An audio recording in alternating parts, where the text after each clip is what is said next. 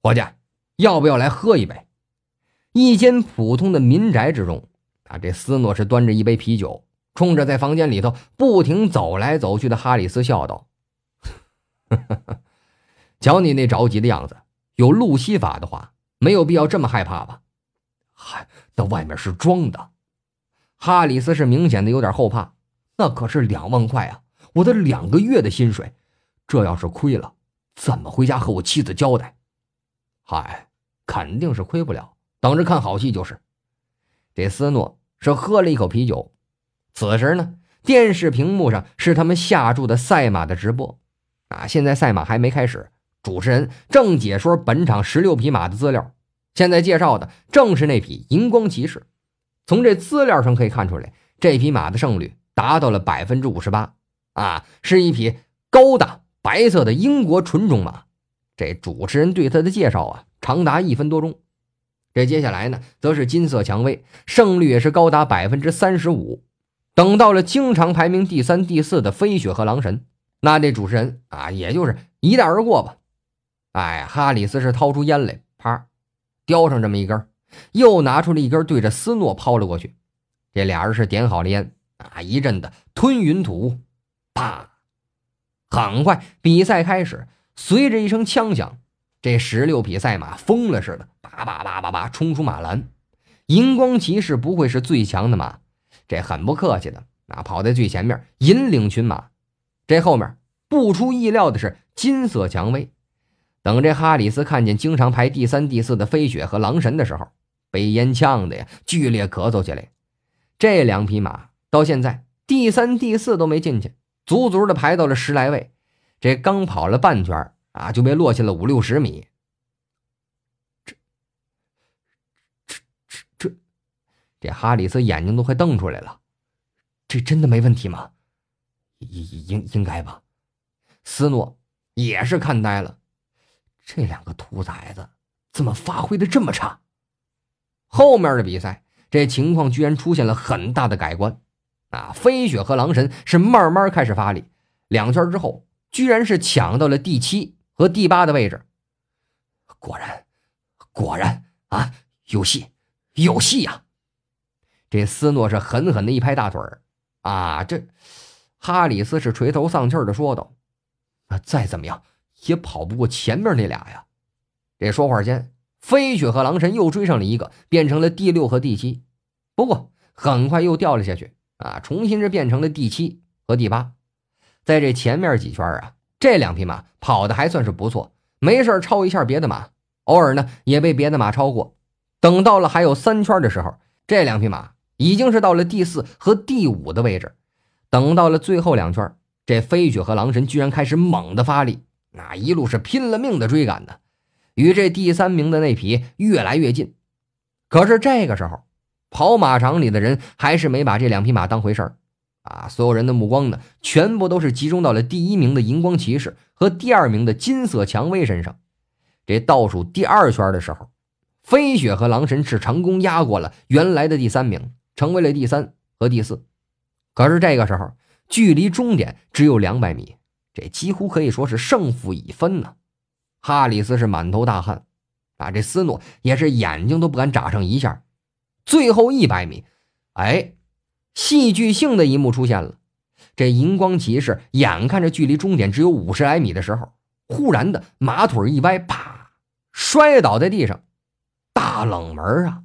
几乎是已经稳拿冠军的马，居然摔倒了。这时候，这观众席上传来一片惊呼之声。啊，这还没完呢！就在所有人都以为金色蔷薇能拿冠军的时候，更戏剧性的一幕出现了。嘿，金色蔷薇也摔倒了。这一回，人们不笑了，啊，因为在场几乎所有人都是压的这两匹马，最后没有任何悬念的，这比赛是以飞雪名列第一，狼神位居第二名而结束。路西法万岁！路西法万岁！我明了，我们赢了呀！这哈里斯是猛地站起来，啊，斯诺呀也是长出了一口气儿，喃喃说道：“我就知道，路西法的话。”一定不会错的。坚利美那边暗流涌动，洪德利这边呢，却是每天都很快乐的败家，而跟在洪德利身边的穆雨熙和凯瑟琳两个人啊，又有了各自的分工。凯瑟琳这个人出现的很奇怪，不过更奇怪的是，洪德利对他的出现居然没表示出任何什么介意的情绪，于是就有了下面的这件事情。与坚利美那边的通话，这凯瑟琳是一本正经的说道：“先生，大力少爷这几天每天都到处去玩，平时也有上学，不过在学校里面，要不就是在睡觉，要不就是在看小说。”这赫拉斯是急问道：“他平时都玩的什么？”凯瑟琳是回答道：“据说教玩具厂制造了不少的高档模型，平时在小说网站上看书，晚上都会出去骑着大龟去逛街去，要不就是去看看他的学校。那学校的设计图真的很酷的。”赫拉斯是奇怪的说道：“玩具、小说、看学校。”他是念叨了两声，随后是挥手招来身边的顾问：“那什么。”把咱们的专业团队叫来，分析一下洪德利搞这些的东西的目的。快去！很快，专门负责研究洪德利行为目的的这个专业团队就位了。赫拉斯是问道：“哎，这洪德利最近在玩玩具模型？哦，对了，就是那种遥控车，据说是造了很多。你们分析一下，看看他是什么目的。快！”然后这专业团队就开始分析。啊，一人是说道。哎呀，按照洪大力的一贯原则，玩具肯定是有什么发展前景是咱们没看到的。那么头，会不会是洪大力要拍的新电影跟玩具有关呢？另一人是说道：“嗯，我看挺有可能。头，你想啊，洪德利既然跟咱们的好莱坞宣战，那必然是有所打算。所以我认为啊，他这是采用了天国的三十六计之中的声东击西的策略。”第三人是说道。你们哎，都说的挺对，那应该就是这样。他表面上是在玩游戏，实际上是在拍电影。我们不能被表象所迷惑啊，一定要好好的分析他这么做的目的。赫拉斯是说道：“有道理。”然后他就拿起电话通知凯瑟琳：“记住了，给我盯紧洪大力，一旦他有什么最新消息，必须第一时间汇报。”尤其注意，千万不能让他给迷惑了。你一定要挖出深层次的含义，知道吗？这个凯瑟琳是猛吞着口水。是是，先生。等挂了电话了，凯瑟琳是郁闷的说道：“洪德利有这么恐怖吗？还专门为他开辟了一个团队来研究。”不过一想到那个传说中最恐怖的人物路西法，这凯瑟琳还是决定。好好的呀，多观察观察，毕竟嘛，能不叫路西法来，那就一定不能叫路西法来。凯瑟琳那边跟美国联系研究洪德利的每样动作的目的啊，穆雨熙这边呢也在认真的写着败家日记，题目：败家日记，日期：二零一四年六月二十七号，正文：今天大力去了学校，上课睡了两节，看小说看了六节，注解。大力的灵感一定都是从小说和睡觉中获得的，以后可以考虑学习。这中午到了恒隆大酒店吃饭，大力好像对于总来这里吃饭表示不大满意，叫他的意思好像是要改善一下酒店的装修和风格。注解重要：大力每当有这样想法的时候，都会有很不错的创意，让人意料不到，却又在情理之中，厉害。晚上出门骑着大龟去逛街。期间，大力对于玩具工厂的生产速度好像不是很满意。注解：大力看来这一次很认真，可是做玩具玩能有什么前景呢？期待。到了学校的位置，李元首已经大致规划出了住宅小区的位置，开始着手准备住宅小区的设计图了。相信如果能够与学校的设计图风格一致，一定会有很大的前景。至少我看到那学校的设计图之后，是真的很喜欢。注解：不说学校具体生源会有多少。光是造型就足够当个旅游景点，大力少爷的眼光真的是没话说，比我强多了。晚上，大力少爷回家睡觉，这个我不能去。不过想来大力少爷到了家里头，一定是会有更好的想法，非常期待。总结：跟着大力少爷在一起，每天都很有期待性，期待他会做出什么让人出人意料的事儿。另外，据说林初音小姐的全息投影技术有了最新进展。唐木心小姐每天都去帮忙，就是不清楚到什么时候会有什么样的惊喜。想来应该不小。注解：全息投影技术完善之后，一定会有很大的前景，非常值得期待。结果，啊，这到了第二天早上，周末，这洪德利是一到晨辉大厦，盯着俩黑眼圈的穆雨熙啊，还有这凯瑟琳就乐了。哎，雨熙姐，呃，凯瑟琳姐姐，不是怎么的？昨天晚上没睡觉啊？什么事儿这么忙啊？嗯，没什么。昨天晚上我玩了一晚上的网络游戏，睡得有点晚。这凯瑟琳是说道。穆雨熙呢，接着说道：“啊昨天我研究发展规划书来着，也没怎么睡好。”这俩人嘴上这么说，心里头都想呢，还不是为了研究你的行为到底有什么目的吗？以后这样会把人累死的啊！这太不容易了。坚利美那边，这个赫拉斯呀，啊，也是顶个黑眼圈，问这专业团队：“行了啊，研究一晚上了。”大家都早点休息吧！啊，这专业团队如蒙大赦呀，一个个的拼了命的揉着眼睛。好，你头啊，我们就先睡会儿去了啊，晚上再等那边的最新消息。哎呀，这玩意儿没研究出啥来呀？红的励志是没心没肺的。哎，对了，今儿是周末，咱们出去玩呗。这几天我上课睡觉就合计这个了。今天咱们就搞那个主题饭店。怎么样？凯瑟琳和穆雨熙两个人瞬间郁闷，还玩啊？脑子不够使啊！不过啊，不管怎么说，这洪德利说了要出去玩，那是一定得跟着的。就这败家的经验，必须得学呀！之前他就说搞这个主题饭店，那可是俩人怎么也没想出来，这玩意儿怎么赚钱呢？那个大力少爷，穆雨熙是小声的问道：“你平时白天上课都想这些啊？”这红德利是点头说道：“那，对啊，老师讲的那些我又懒得听，就研究怎么玩了。我是感觉吧，我要搞的这主题饭店能挺有意思。哎，我跟你说啊，我老早就合计着能弄这么一饭店了。看到没？看到没？上课睡觉是灵感来源呢。”这穆雨熙是暗暗决定，以后咱白天也多睡觉，多看小说。啊，这下楼上车，众人是一路杀向西四环之前洪德利买的，除了恒隆大酒店外的另一家饭店——富海大酒店。这个富海大酒店呢，因为有着洪德利的这个“玉笛谁家听落梅”和这个好球汤的而名声大振。那这目前生意还算是不错，至少比洪德利刚来那会儿那赚钱多了。这洪德利是带着众人一进门，啊，这早有服务员呢，看到了，顿时啊一声欢呼啊，少主好！顿时啊，这所有人瞬间集合，齐刷刷的站成两排，少主好！周围那些吃饭的，拿出手机，咔嚓咔嚓一顿猛拍呀！啊，洪德利是带头往这个里头走，边走边说道：“啊，那什么，干干干的不错啊，干净，赏，每人两千。”就这财大气粗的，那就是不一样啊！这小费一出手就是每人两千，众服务员是山呼啊，谢主隆恩！等这赏完了，大堂经理 点头哈腰的问道：“少长，今天您来打算吃点什么呀？这可是位财神爷呀，那必须得好好伺候着，伺候好了，绝对是喜从天降啊！这哗啦啦的银子可就来了。结果却没想到，这洪德利也是摸着下巴。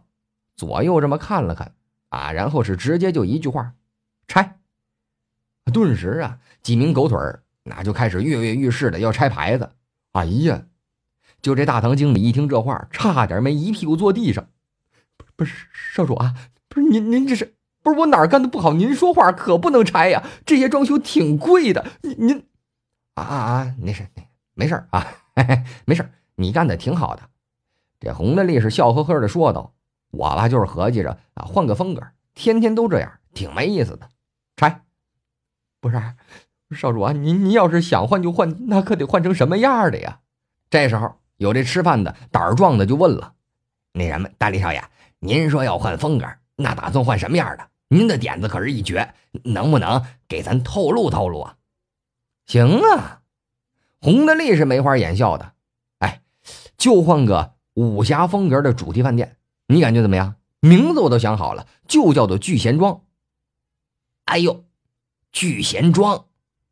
眼前这位客人，那可是《倚天屠龙之大江湖》的影迷呀。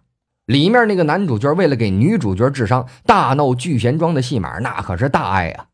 一听洪德利的话，顿时就高高的竖起了大拇指。哎呀，大力少爷真乃神人，光这一个点子那就绝了。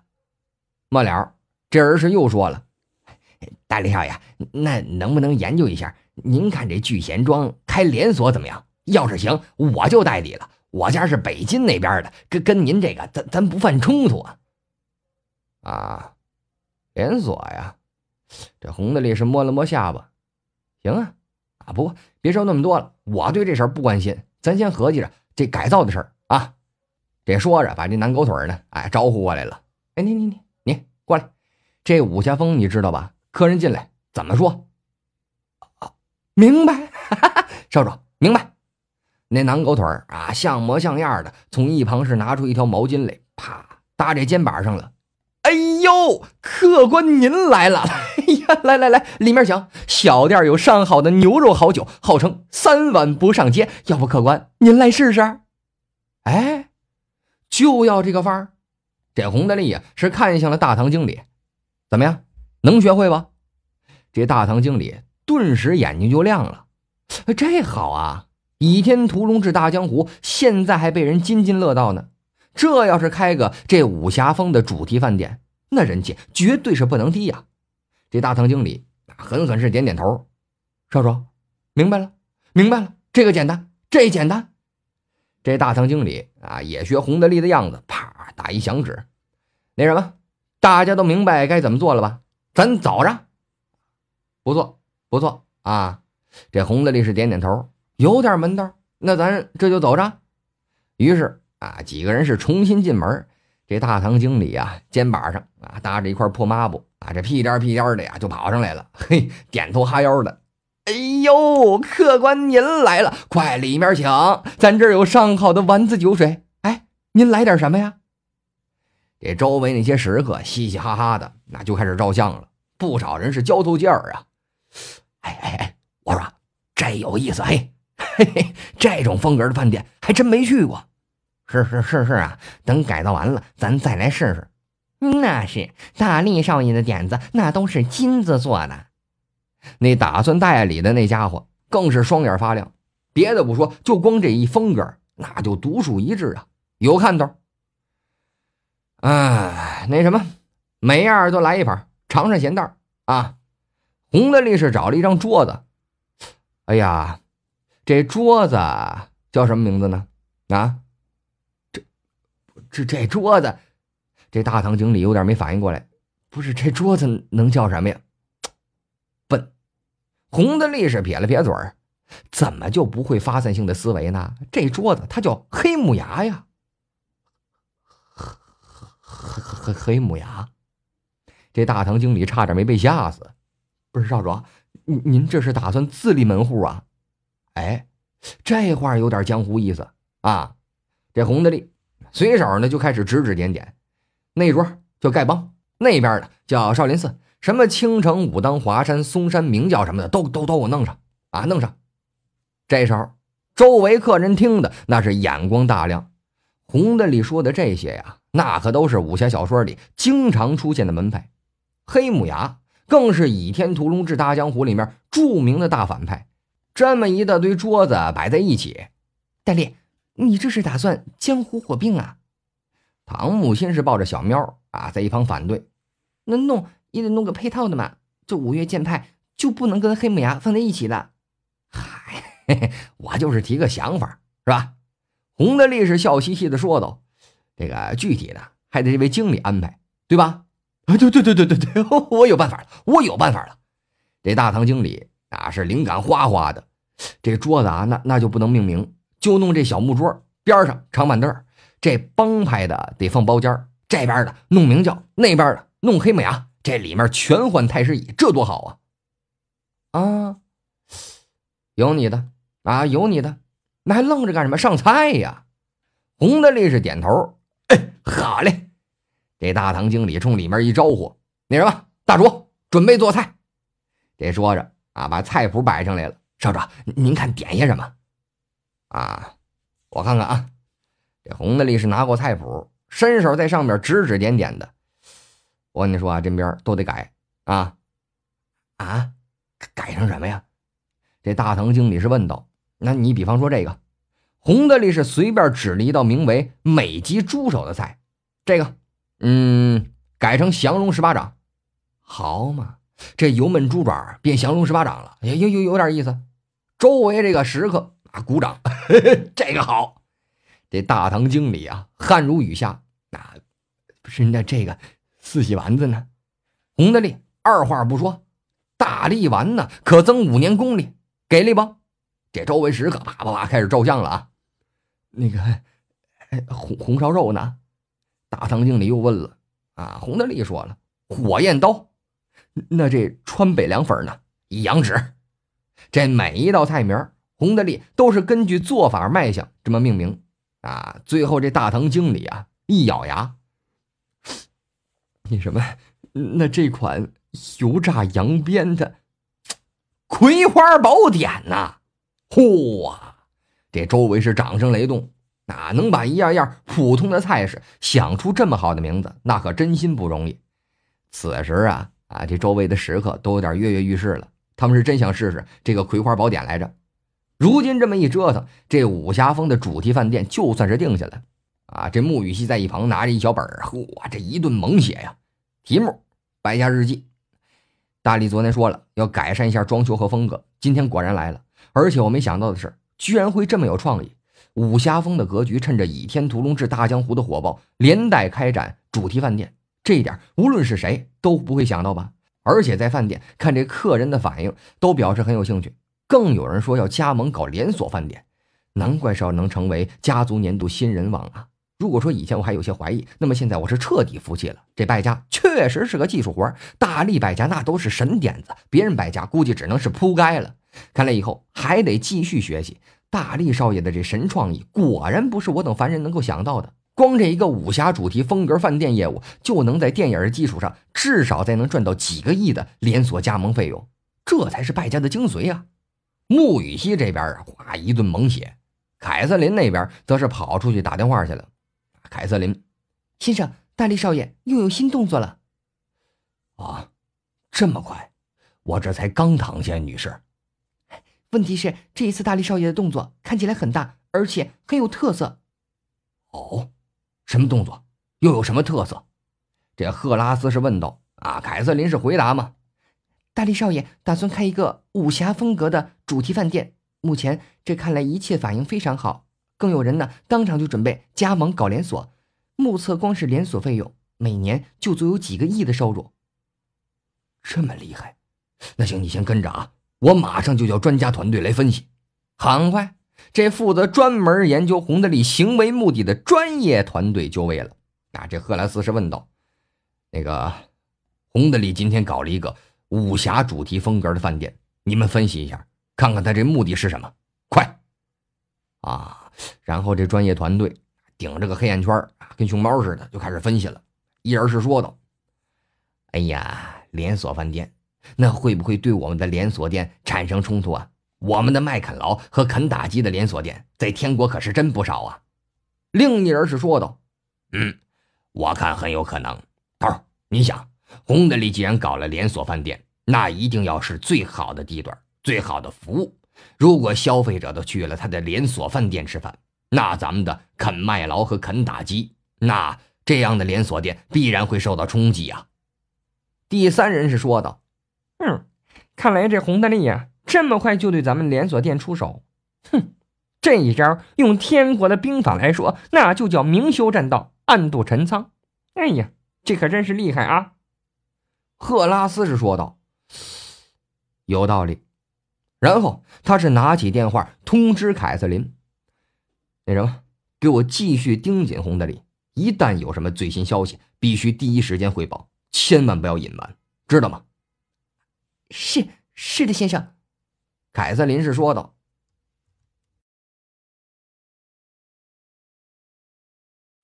不过就是偶然想起的一个点子，你说就把这整个事件弄得鸡飞狗跳的。而这事件的主角洪德利却只是表示这顿饭挺好吃，就没了下文了。这叫在一旁跟着的穆雨熙和凯瑟琳差点没把这眼珠子都盼出来呀！不管怎么说，洪德利这顿饭确实就是想要改善一下气氛，而代价呢，则是这家富海大酒店又花了二十万呢，那来进行装修。啊，等吃完了饭了，这洪德利吧着嘴儿，啊，满意的擦了擦嘴角，又赏出去五万，正准备出门到处去看看呢，忽然，外面进来了一行人。这为首的一个是一个身穿着一身休闲装的年轻男子，啊，这其他的呢都是穿着黑色西装，打着领带，一边走啊一边叽里咕噜的交谈。洪德利是随便听了两句，这好像是日语。这么大排场，不知道是哪一阵的少爷跑这来旅游来了。那对于这种国际友人，洪德利其实还没有什么反感的，正准备稍微让一下路，却不想这对方人群中。一名黑西装保镖模样的人呢，直接就开始拨了这洪德利身边的狗腿啊！这边拨了边说道：“啊，哎，少主驾到，让一让，谢谢。”哎，我擦，老子在这儿呢，还有别的少主吗？要是按照正常的套路来说，那现在双方就是对上眼儿就开片儿的节奏啊。不过很明显，啊，洪德利还是很低调的，也没说什么，只是往这一旁的让了让。等那群人呼啦啦的进了这电梯，这才奇怪的问着大堂经理：“哎，这群货干嘛的？啊，他们呢？”这大堂经理是擦了擦脑门上的冷汗：“是丰田汽车公司的本部人马。这打头的那个被他们叫少主的，好像是丰田总裁吴本太郎的独生子吴本光，所以也被这手下人称之为是少主。”今儿他们来，据说是谈生意的。那具体谈什么生意，我也不方便打听。不过左右应该是跟汽车有关系。哦，这样啊，这又不是一本道，是吧？红的力是无所谓的，耸了耸肩膀，那就跟我没啥关系了。行，咱先回晨辉大厦再说。大力，那个不给他们一点颜色瞧瞧吗？这个时候，身旁的唐木心是小声问道。嗨，这有什么好瞧的？人家谈生意又没惹到我，我总不能跟疯狗似的见人就咬，对吧？行行，走走走走了。你不是说这初音的全系模拟技术已经快做完了吗？咱回去瞧瞧去啊！红的力士奇怪的说道：“这倒也是，那咱们就先回去。”唐木心是笑嘻嘻的说道：“那这跟在后面的穆雨熙呢，就心想了，当个成功的败家子儿，那低调是王道。”这凯瑟琳则想，这天国跟本日国一向是不大友好啊！这大力少爷居然并没开火，看来这人还是挺好说话的。啊，结果呢，正想着呢，电梯门是忽然打开了，一个人呢是怒气冲冲的啊，从这电梯里头冲出来，边走边破口大骂道：“这帮该死的本日人，他娘的，这是逼我呀！啊，这是逼我呢！哎，我那家伙呢？啊，我那家伙呢？”老子来找家伙的，我跟他们拼了！我一听这话，洪德利倒是来兴趣了，赶紧是叫住那人啊，问道：“哎，二老哥，什么事儿这么气急败坏的？”那人是一看到洪德利啊，这上下打量着，哎呦喂，呵着来了兴趣了，啊，惊疑着说道：“你，你，你是传说当中的大力少爷？呃，是我。”啊，是我，不过倒不是传说当中的。哎，什么事儿啊？这么生气？这洪德利是笑嘻嘻的说道：“哎，大力少爷，找到你简直太好了，真的。”那人就好像溺水之人啊，抓住了最后一根救命稻草似的，冲上来一把就握住了洪大利的手。大力少爷，救命啊！除了您，我实在想不出来还有谁能帮上我的忙了。啊，什么事儿啊？这么严重？洪大利是看了看这大堂经理，哎，有没有包房啊？挂个牌，叫这个黑木牙，咱上去说去。有有有有，包房必须有。这大堂经理当即是带人上楼了啊，一路叭叭叭叭叭。这到了三楼一个大型包房之内，洪德利说道：“大力少爷，这儿环境好，地方也够大，您和这位先生就先在这儿说吧，隔音效果绝对好。成，那你先下去吧。”哎我说这位大哥怎么称呼啊？等打发完这大堂经理，洪德利是看向那人问道：“啊，那人呢？今年看年纪也就是三十出头啊，叫声大哥不算是折了身份啊。我叫楚香河，大力少爷叫我香河就行了。”那人回道：“呵，这名字挺有意境啊。哦，那个香河大哥，不是到底什么事儿给你气成这样？你刚才说只要我能帮得上忙是吧？”洪德利是奇怪的说道：“嗨，别提了。”这楚香河是坐在沙发上啊，郁闷的说道：“我呀是咱们天国国产天鹰汽车公司的一名经理，今儿呢跟我们领导过来，跟这个丰田汽车公司的少啊，就就就是他们那个公司的吴本光谈提价的事儿。我是一边陪着，这本来也没什么，但是那吴本光居然说要将江若雨小姐陪他一晚上，不然一切免谈。”不是我这怎么忍呐？我听不下去了，我这就出来了。这洪德利等人是对视了一眼，可以呀，这吴本光居然在打江若雨的主意。哎，仙鹤大哥，到底是什么事情让吴本光提出这样的条件呢？提价？这一旁抱着小喵的唐木心问道：“你们的公司汽车要提价吗？”“不是，不是我们公司的汽车要提价。”是是是是要这个丰田公司的汽车涨价，他们最近这公司不是那个技术改良吗？汽车的总体价格减缩了将近有十分之一吧，弄得咱们国内的汽车市场那鸡飞狗跳的，这现在都快要出现一家独大的局面了。那咱们现在这国产车价格因为成本跟着下去了，现在卖不动了，这不就找他来谈事儿吗？可是这货居然说江若雨不答应这事儿免谈。江若雨小姐现在就在那个包房里头呢，这走也不是，不走也不是。我可是江若雨小姐的铁杆歌迷啊，真的。我勒个去，江若雨也在这儿呢。要是别的事儿，洪德利没那个心思管。但是啊，在这自己的一亩三分地儿之上，有人打自己旗下一人的主意，嘿，要是你情我愿的也就算了，圈里头嘛本来就这样啊。问题是现在江若雨她不大愿意呀，这事儿。绝逼不能忍呐！这件事儿得管啊！不过目前洪德利还没打算管太宽。商场上的事儿没必要说到处拉仇恨，你跟别人怎么折腾无所谓，但是你不能碰我手底下的人呐！啊，那这事儿得过去瞧瞧去。感动我身边的人，那绝对不能就这么算了。哎，那你刚才说只要我能帮上忙，这又从何说起啊？洪德利是摸了摸下巴。少少，您这点子多，运气又好，能不能帮我们想想办法，这事关国家经济？哎，等等等，别别别别扣高帽子啊！洪德利是嘟囔着：“我还没那么大能力呢。”这说着，站起身子来。行了，走吧，咱先去看看这货搞什么玄虚呢？在哪个房间呢？啊，在那二楼镶金的玫瑰包房。这楚香河是赶紧的前面带路。少主，我这就带您过去。穆雨熙和凯瑟琳是对视了一眼。啊，当一个合格的败家子要随时准备面对各种各样的挑战，维护自己手下人的根本利益这一条要牢记。这一行人呢是出门下楼，哎，很快就到了包房门口。洪德利是抽了抽鼻子，看了看身旁众人，那什么，待会儿要打起来，没问题吧？没问题。这一群狗腿子叫嚣了。这初音给咱们都装了外骨骼装甲，每个人对付一个两个的，靠谱啊！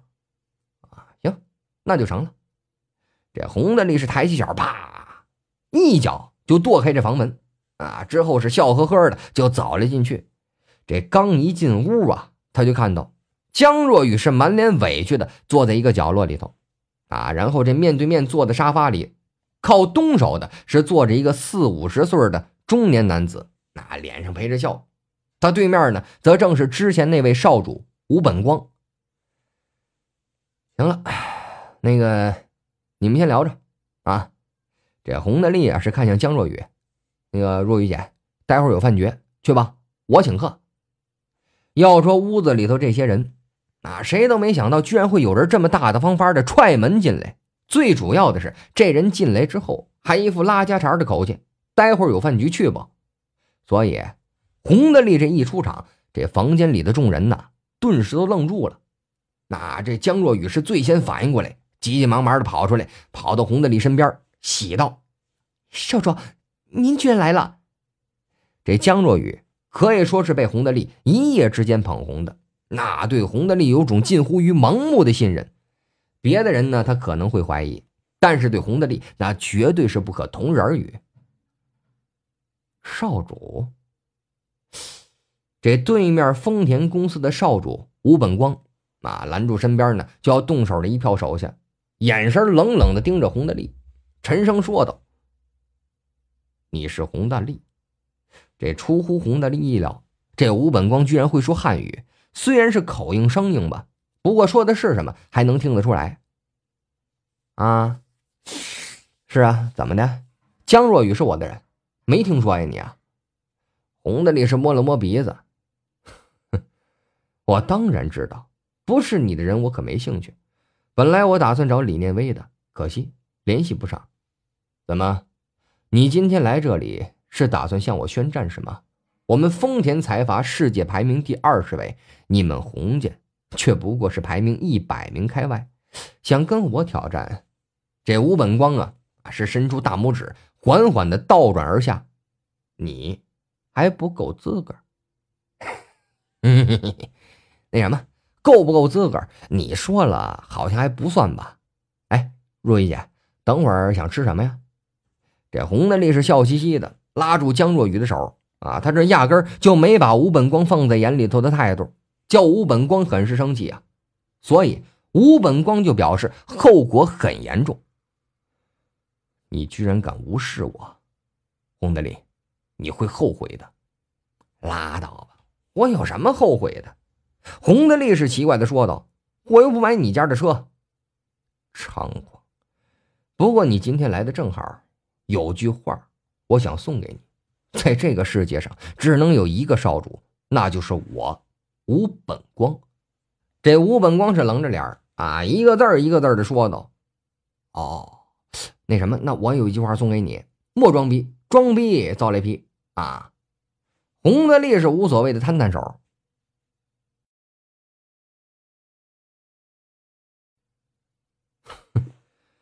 无聊的嘴炮。这听了洪德利的话，吴本光这满脸是不屑的撇了撇嘴，之后呢，缓缓从这沙发上站了起来。他呀，本就比洪德利能稍微高上那么一点点儿，哎，所以呢，一副居高临下的目光看着洪德利。这就是你们天国人的处事方式吗？永远都是只会说而不去做。你这话的意思是打算叫神来惩罚我了？本来他这么干呢，还是挺酷的。啊，有点这个豪门大少的风范，可是千不该万不该，不该在这个时候还继续挑战洪德利，所以他就郁闷了。啊，这吴本光话还没落地呢，啪，这脚上就猛的是一疼。谁敢跟洪德利这么说话啊？那绝对是自己找郁闷。唐木心呢，抱着小苗上去，啪啪啪，狠狠的一脚跺在了吴本光的脚背上，怒道：“你是骨头紧了吗？我帮你松松。”女人，不要太过分，不要逼我动手。这吴本光是看着唐木心，怒气冲冲的叫道：“其实啊，洪德利是本来打算自己这么出去的。那他对于这种自己找上门来的麻烦，实在是有点不愿意理。不过现在一听这吴本光这么说，唐木心顿时就改变主意了。大力出奇迹，这个洪德力士转过身啊，抬起手来。身边的九大狗腿齐刷刷的抬起手啊，十个人举起了十只手。这吴本光身边的保镖呢，一看这情况啊，顿时一愣，随后就想要扑上来先发制人。可惜呀，还是晚了一步。洪德力士带着九的狗腿每个人的手上都是出现了一副外骨骼装甲。这十个人十副外骨骼装甲，手掌心儿那儿有一个圆形装置，瞬间爆发出了耀眼的光芒。米加粒子炮发射，咚咚咚咚咚咚！这红的利带着九的狗腿每人发了一炮。那这吴本光的那些保镖还没扑上来，啪，全部被打回去了。虽然这些武器吧还不足以致命，但是威力啊还是相当大的。那几个保镖一人身上俩窟窿啊，这一个个被烫的呲牙咧嘴的。呀呀呀呀呀呀！我跟你说了，不要惹我发火。洪德利是收起了这个外骨骼装甲啊，看也不看，愣愣站在那儿的吴本光，嘿嘿笑道：“我告诉你，我发起怒来，连我自己都害怕，真的。”扔下了这么一句酷炫到极点的话，洪德利扭头就走啊！哎，我跟你说一下啊，其实我们天国人真不是不敢动手，只是很多时候呢，有点怕脏而已。哎哎，那个，顺便我给你一个善意的警告，不准碰我的人，啊！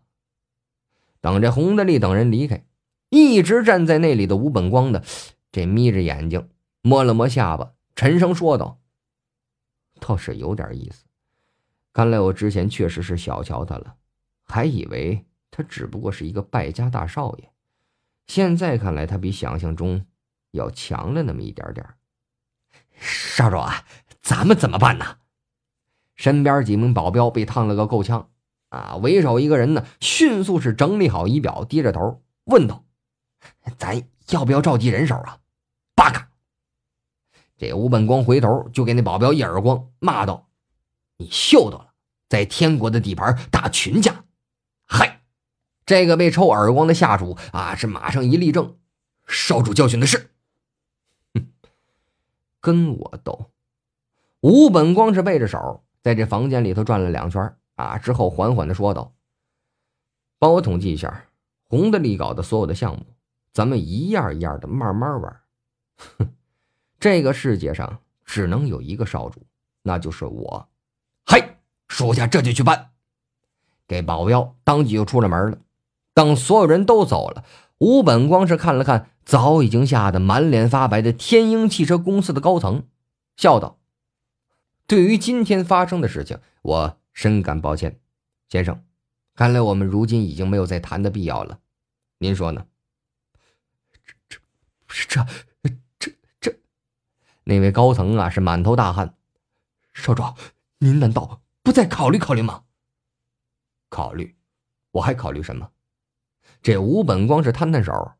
江若雨走了，洪德利又让我出了这么大的丑，打了我的保镖。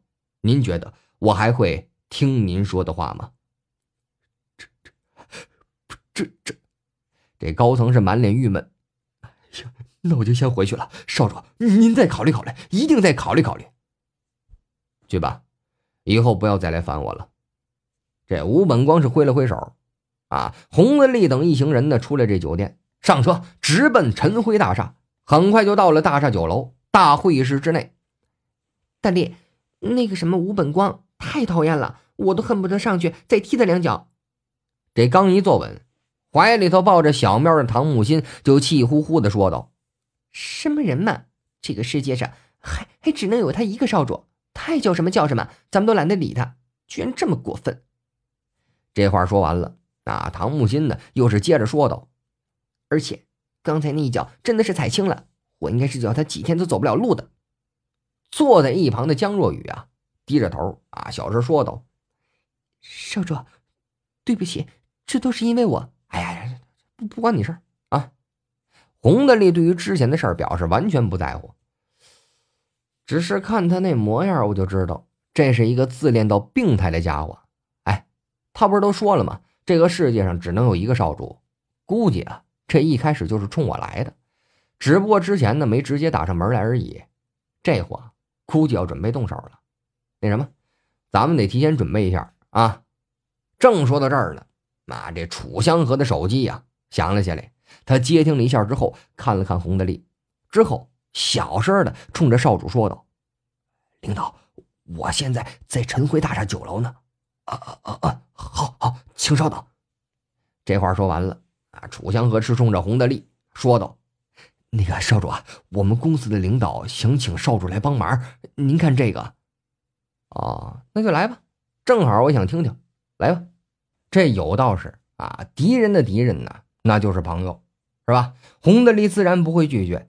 这一次跟之前的事情还不大一样，之前那些人好歹都是天国人，互相之间没什么深仇大恨，洪德利呢也就不会太过在乎。但是吴本光可不一样，人家是冲自己来的，目的就是抢夺少主这个称呼，这别的东西。洪德利不当回事但是对本日国的人，这洪德利天生好感就不足啊！不惹我也就罢了，主动挑事那可就别怪我了。要知道，这个世界虽然跟地球不太一样，但是本日国来这个天国发动战争，洪德利还是知道的。这大爷爷宏图和老王头可没少提当年的事儿啊。这正所谓人无远虑，必有近忧。啊，来自于吴本光的挑战，这洪德利自然不会当儿戏。很快，之前在富海大酒店看到的那名中年男子是满头大汗的跑了进来，一见洪德利就是一顿的点头哈腰啊。少主，您这一次可一定得想办法帮帮忙啊！去去去去，嘘，别着急，慢慢说。洪德利是看了看他，那挺普通一人，不过这人嘛，不可貌相，是吧？海水不可斗量。洪德利还是表示了相当的尊敬。咱们那叔怎么称呼啊？啊，我叫李大国，是天国国产天鹰汽车公司的副总裁。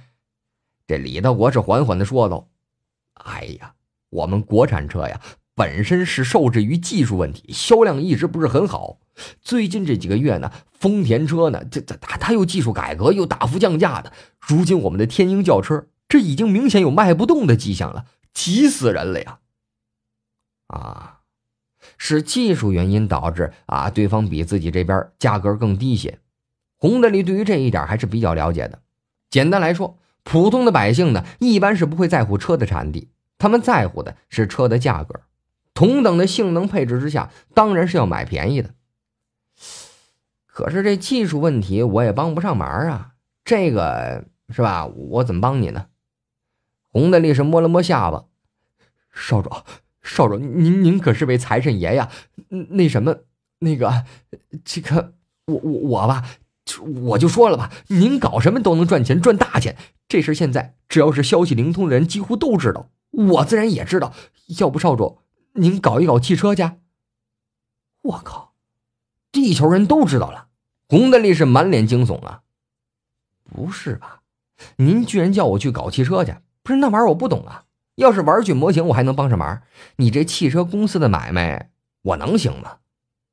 今儿可真是奇了怪了，啊居然有人上赶着叫自己去跟他当竞争对手去！不不不不不，这好在啊，李德国是拼命的摇头。不是说叫少主您亲自开这汽车公司，我的意思是，如果我说把我们公司的研究部门借给少主您使用，您就算入股，这样。咱们就绑在您的战船上了，到时候以少主您的那个无敌的运气，我想一定能有效果。这一旁的穆雨熙听的，呵，一把捂住脸。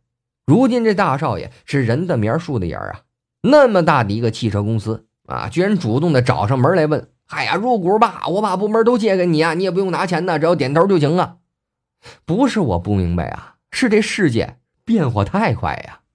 这种好事砸在头上，就算再怎么败家，也没拒绝的理由啊！洪德利是想了想，忽然间呢，是眼睛一亮，行，哎，那你就把这部门借给我吧。正好呢，我这两天在鼓捣那个呃汽车玩具，你的部门帮我搞个这个，确实不错。不是，那什么，玩玩玩具，少主，您该不会是说真的吧？叫我们专业的设计部门给您设设设计这个汽车玩具您您说的是那种遥控的吗？啊，一比一的仿真模型，我是打算呃一次造个一百台来看看，怎么的不行啊？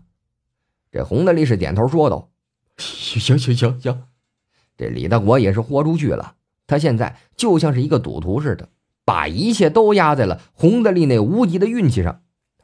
我相信少主您的运气和点子。不管怎么样，反正现在车也卖不出去了，帮您做点玩具也也不错。哎，那就这么说定了啊！哎，那你啥时候把您团队给我叫来呀？那边工厂现在正好有点这技术问题还没解决呢，都等着呢。洪德利是没法言笑的啊！这几天呢，工厂那边确实是有点麻烦事儿。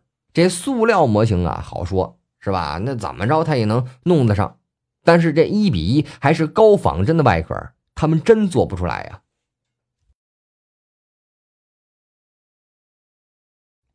之前这李大国以为洪德利是开玩笑的，然而现在他才发现，洪德利居然是在玩真的呀！没听洪德利说吗？工厂都已经准备好了。老天爷呀，这大力少爷该不会是真拿正规汽车工厂的技术开发部门去给他研究玩具吧。研究玩具怎么跑得快呀？或者研究玩具怎么操控灵敏呢？不过，这李大国既然敢这么大胆的直接打算跟洪德利绑在一起，那本身他就不是胆小怕事的人啊。他只是想了想，这稍微啊犹豫了一下，之后就说道：“那个少主，您先稍等，这样我先去给我们老总打个电话，告诉他一声，然后咱们这就准备开工。既然已经准备跟少主您一起干了，那咱自然是有诚意的哈，保证不是忽悠您。啊，行。”去吧，嘿嘿嘿，这洪大力是笑嘻嘻的挥了挥手，那什么，快点啊，我这边可等着呢。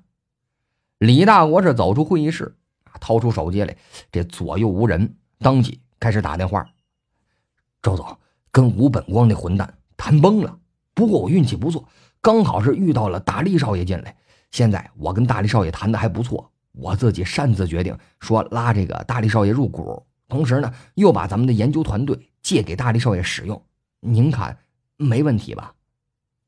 电话那边啊是沉默了一会儿，之后一把低沉的声音响起：“你确定大力少爷要参与进来？”“是是。”李大国是缓缓说道：“这大力少爷为了江若雨小姐，已经跟那个吴本光闹矛盾了。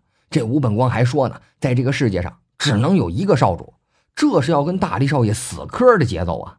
啊，现在咱们也实在是没什么好办法，干脆拼了命的跟大力少爷绑在一起，所以我就擅自决定。不过目前也就是一说，哎，具体如何还得周总您亲自下决定。啊，这件事儿你干的还不错。电话那边的周总是沉声说道：“这大力少爷运气好，人尽皆知，最主要的是他如今是大归玄武唯一的合法主人。”就冲这一条，国家肯定是亏不了他。如今咱们跟他绑到一起，绝对是不会有任何坏处。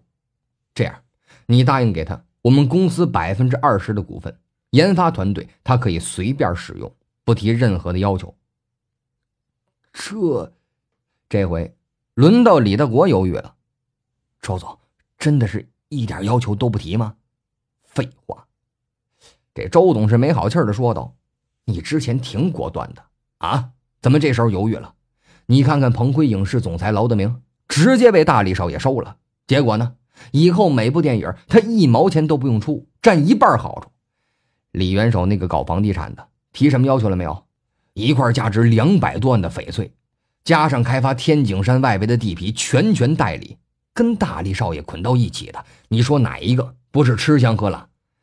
你什么都不用说了，这次办好了。我给你提百分之五的股份，百分之五的股份呢？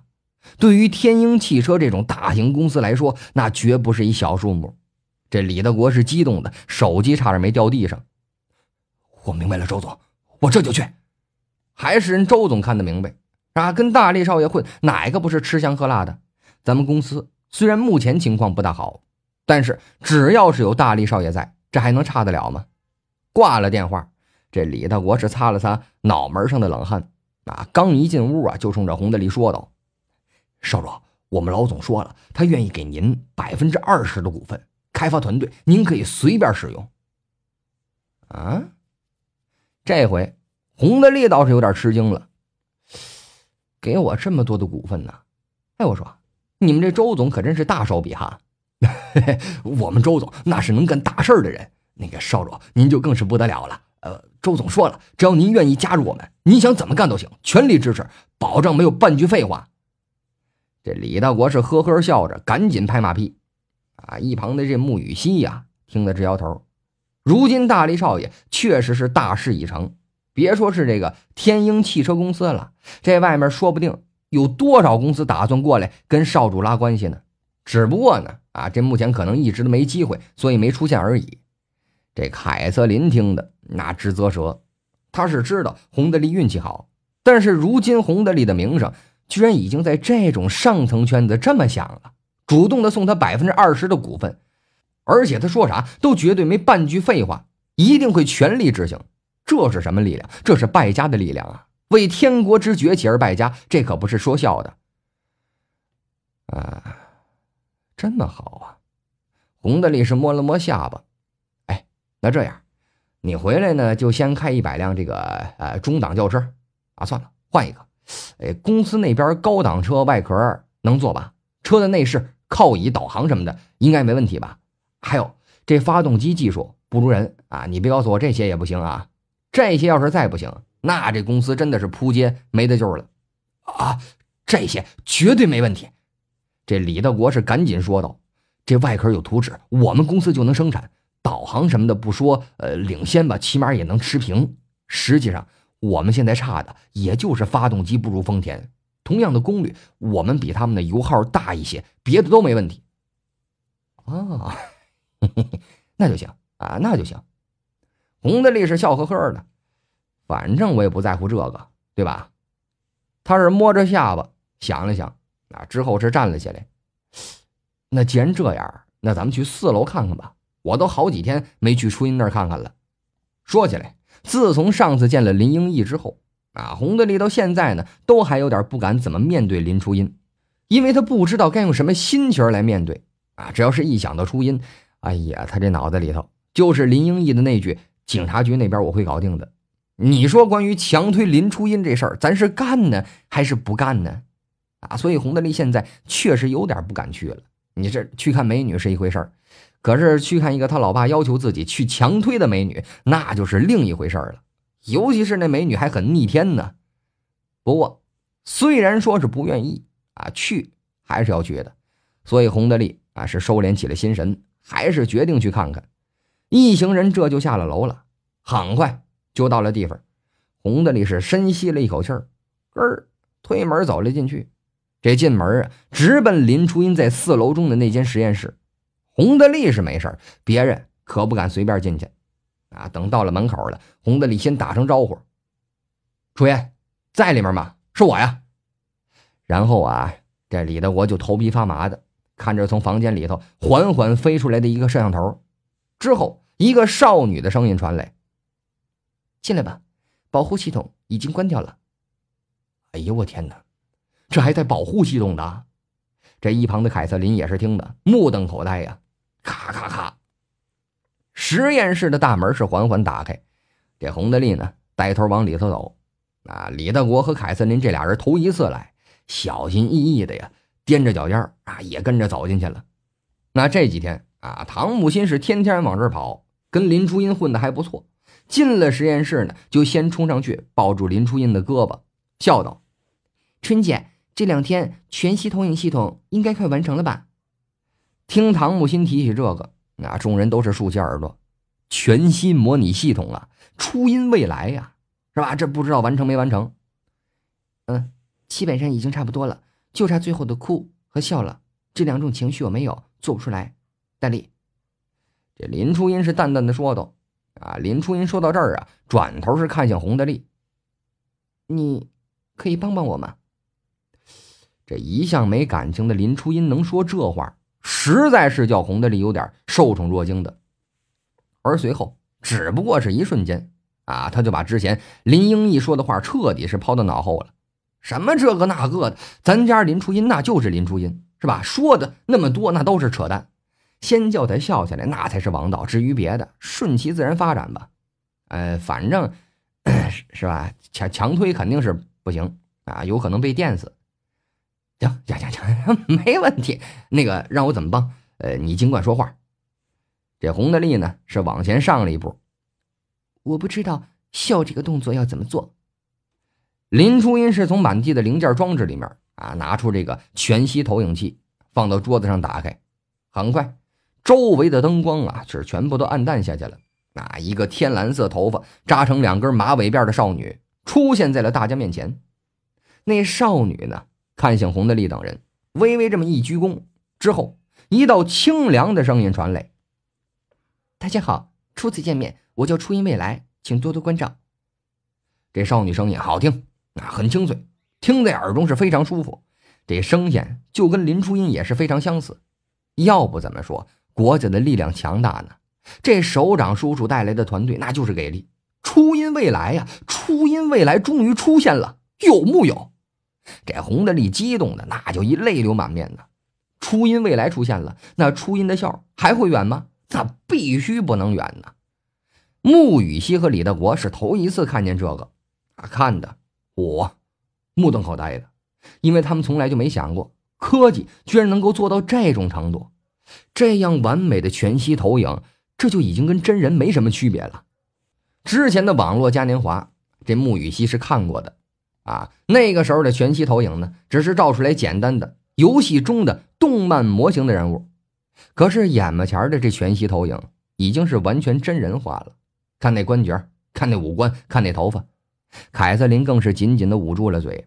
好莱坞那边还说要跟洪德利斗，如今他们要是知道洪德利这边已经是拥有了这么强大的技术，好莱坞拿什么来斗啊？大力，对于这种技术的问世啊，林初音没有任何的得意，实际上他一直都没有任何表情。你告诉我，笑应该怎么做呢？我不清楚具体的动作。听林初音这么一说话，所有的人都是有些沉默了。啊，洪德利也有点沉默了。不过他很快就回过神来，呵呵笑道：“嘿嘿，好，那今天咱们就争取把这笑这个动作给做出来啊！”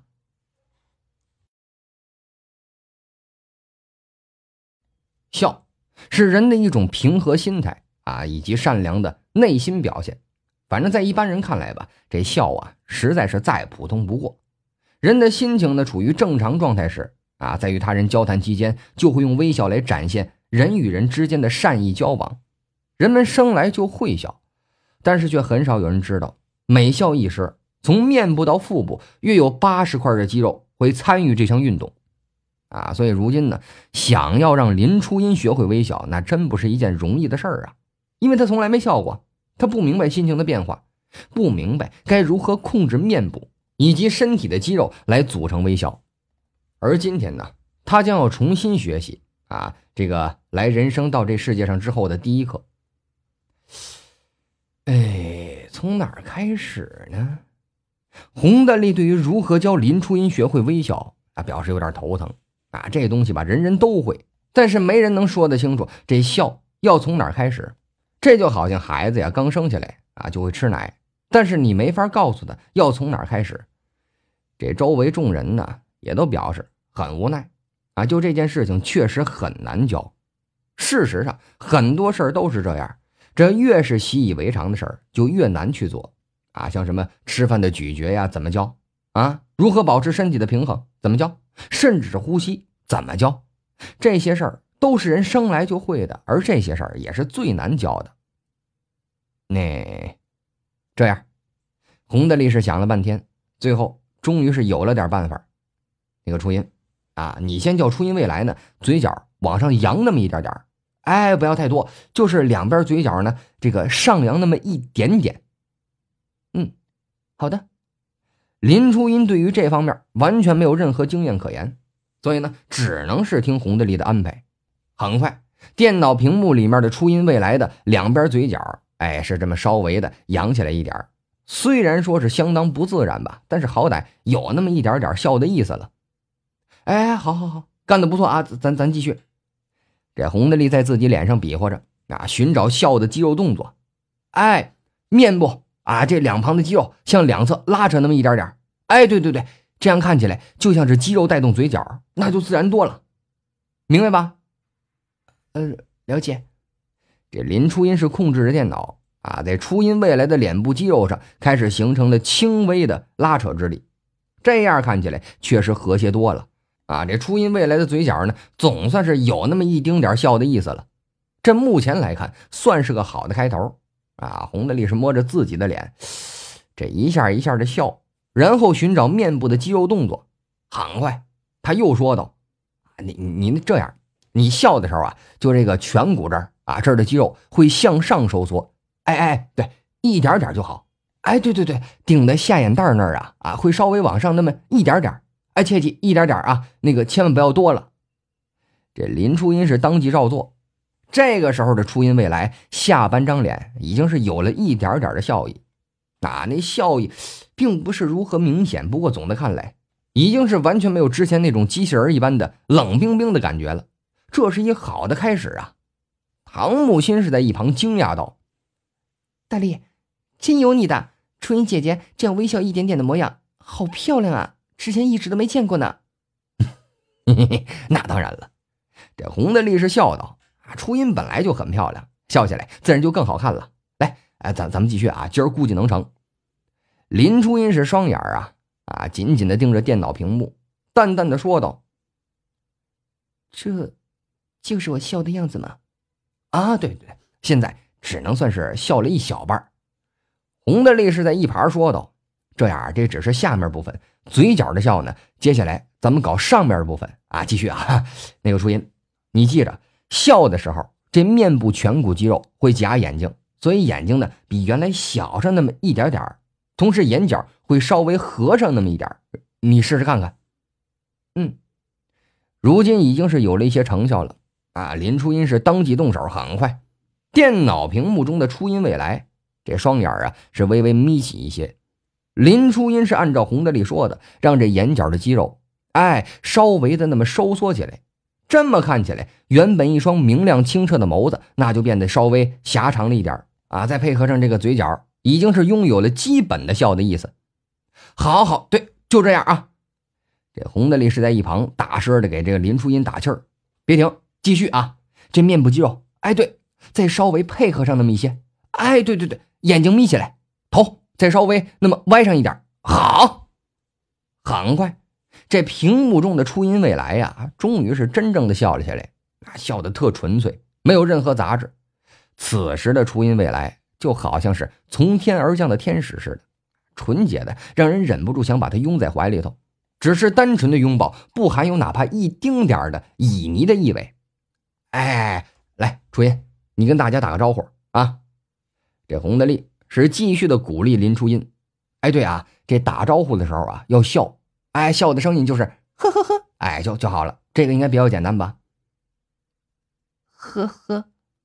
这林初音是淡淡的学会了洪德利的声音啊，之后把这语句呢输入电脑，很快，这个全息投影影像中的初音未来冲在场所有人呢是抬起手来，优雅的行了一礼。之后说道：“大家好，我是初音未来，我来自未来世界，初次见面，请多多关照。”这句话说完啊，这影像中的初音未来把这头稍微这么歪了一点，之后嘴角上扬，双眼呢微微眯起来，笑着说道：“呵呵，耶！”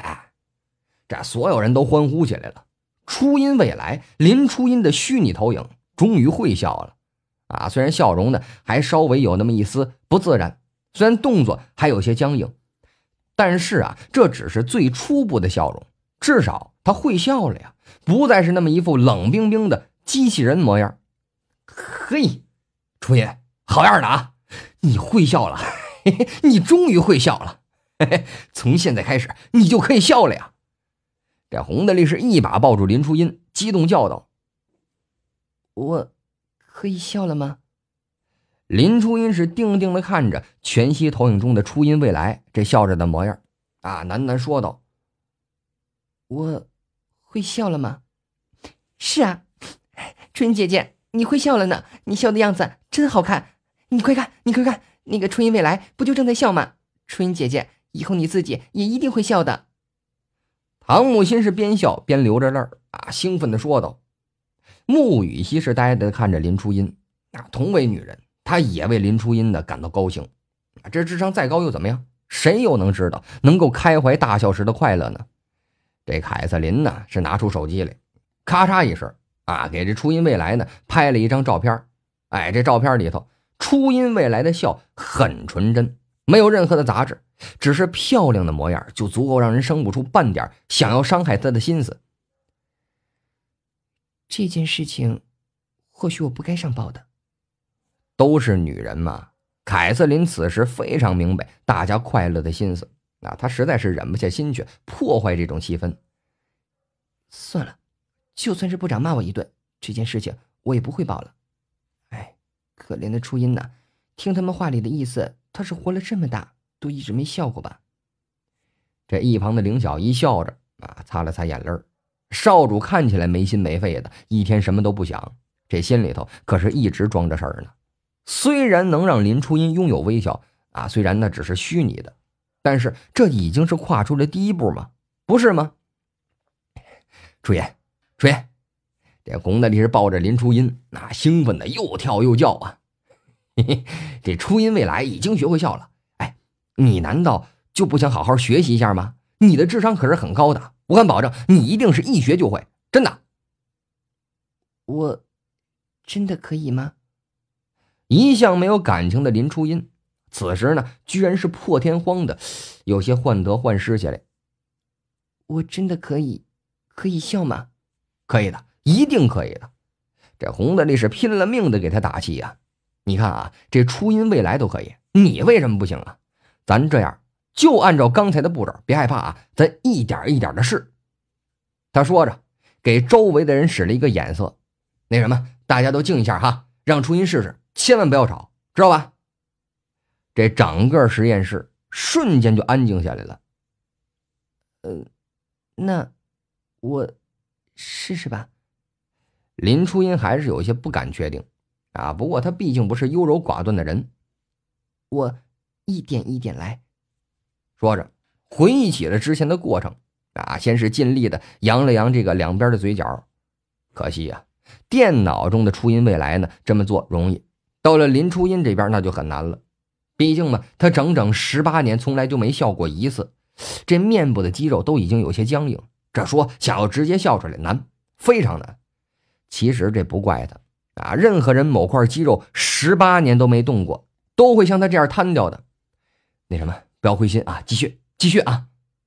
洪德利是拼了命的打气儿，咱慢慢来，一点一点的，别着急。哎，对，一点一点来。呃，你先试试活动一下这面部肌肉。不然你这样笑不出来的。我再试试。此时的林初音说起这话来，竟然是有些忐忑啊，有些害怕起来。不要怕，一点一点的啊。洪大力是在一旁啊，一点一点的指挥着。初音，你一定可以的，一定，千万别着急。这不是说一天两天的事儿，只要是有进步，那就算成功了。好，我尽力。这林初音说着。嘴角是再次的动了动，这一次的变化相当小啊！他这嘴角只是轻微的向上那么提了一点点还是不行。林初音是努力过后有些失落了，还是没有反应。这周围众人看的呀，泪如雨下啊！笑这个对于所有人都是那么简单的事情，到了林初音这儿却竟然比登天还难。此时的林初音看起来是那么的萧瑟，啊，他是天才，不折不扣的天才，世界上最神秘的组织圣杯成员之一，智商高达一百八以上的军事科技宅，对于他来说，国家都要把他当成宝贝似的人物。可是偏偏笑这么一个最普通的动作，他却做不到。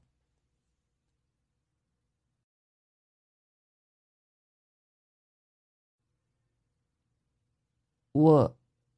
林初音是摇摇头啊，顿了一下，之后是轻声说道：“我还是先去看看我之前制作的机械圣衣吧。目前还只差了几个技术方面的问题，解决了就可以了。可是已经到了这种时候了，洪德利会放弃之前的努力吗？答案很简单，不可能。如果今天放弃了，那么以后啊，林初音将再也没有笑的可能了。”人在很多时候努力了，有了那么一丁点的希望，然后放弃的话，这一生都没有勇气再去试，哪怕只是那么一下。所以，洪德利是一把就拉过了林初音啊，柔声说道：“初音，你先不要弄那些了，好不好？要不咱们出去走走吧？你好像平时从来都没逛过街吧？要不咱们去外面转转？”啊，这林初音是愣了一下。啊！之后计算了一下时间，随后是点头说道：“好，那么最多只可以有三十分钟的时间。行，三十分钟就三十分钟。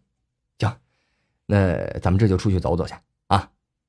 这洪德利啊，啊，牵着林初音的手，俩人是缓缓的出了实验室的大门。林小一等人想要跟上，可是却被唐木心阻止了。理由很简单，让他俩去吧。这种时候，或许。也只有洪德利才能让奇迹出现了。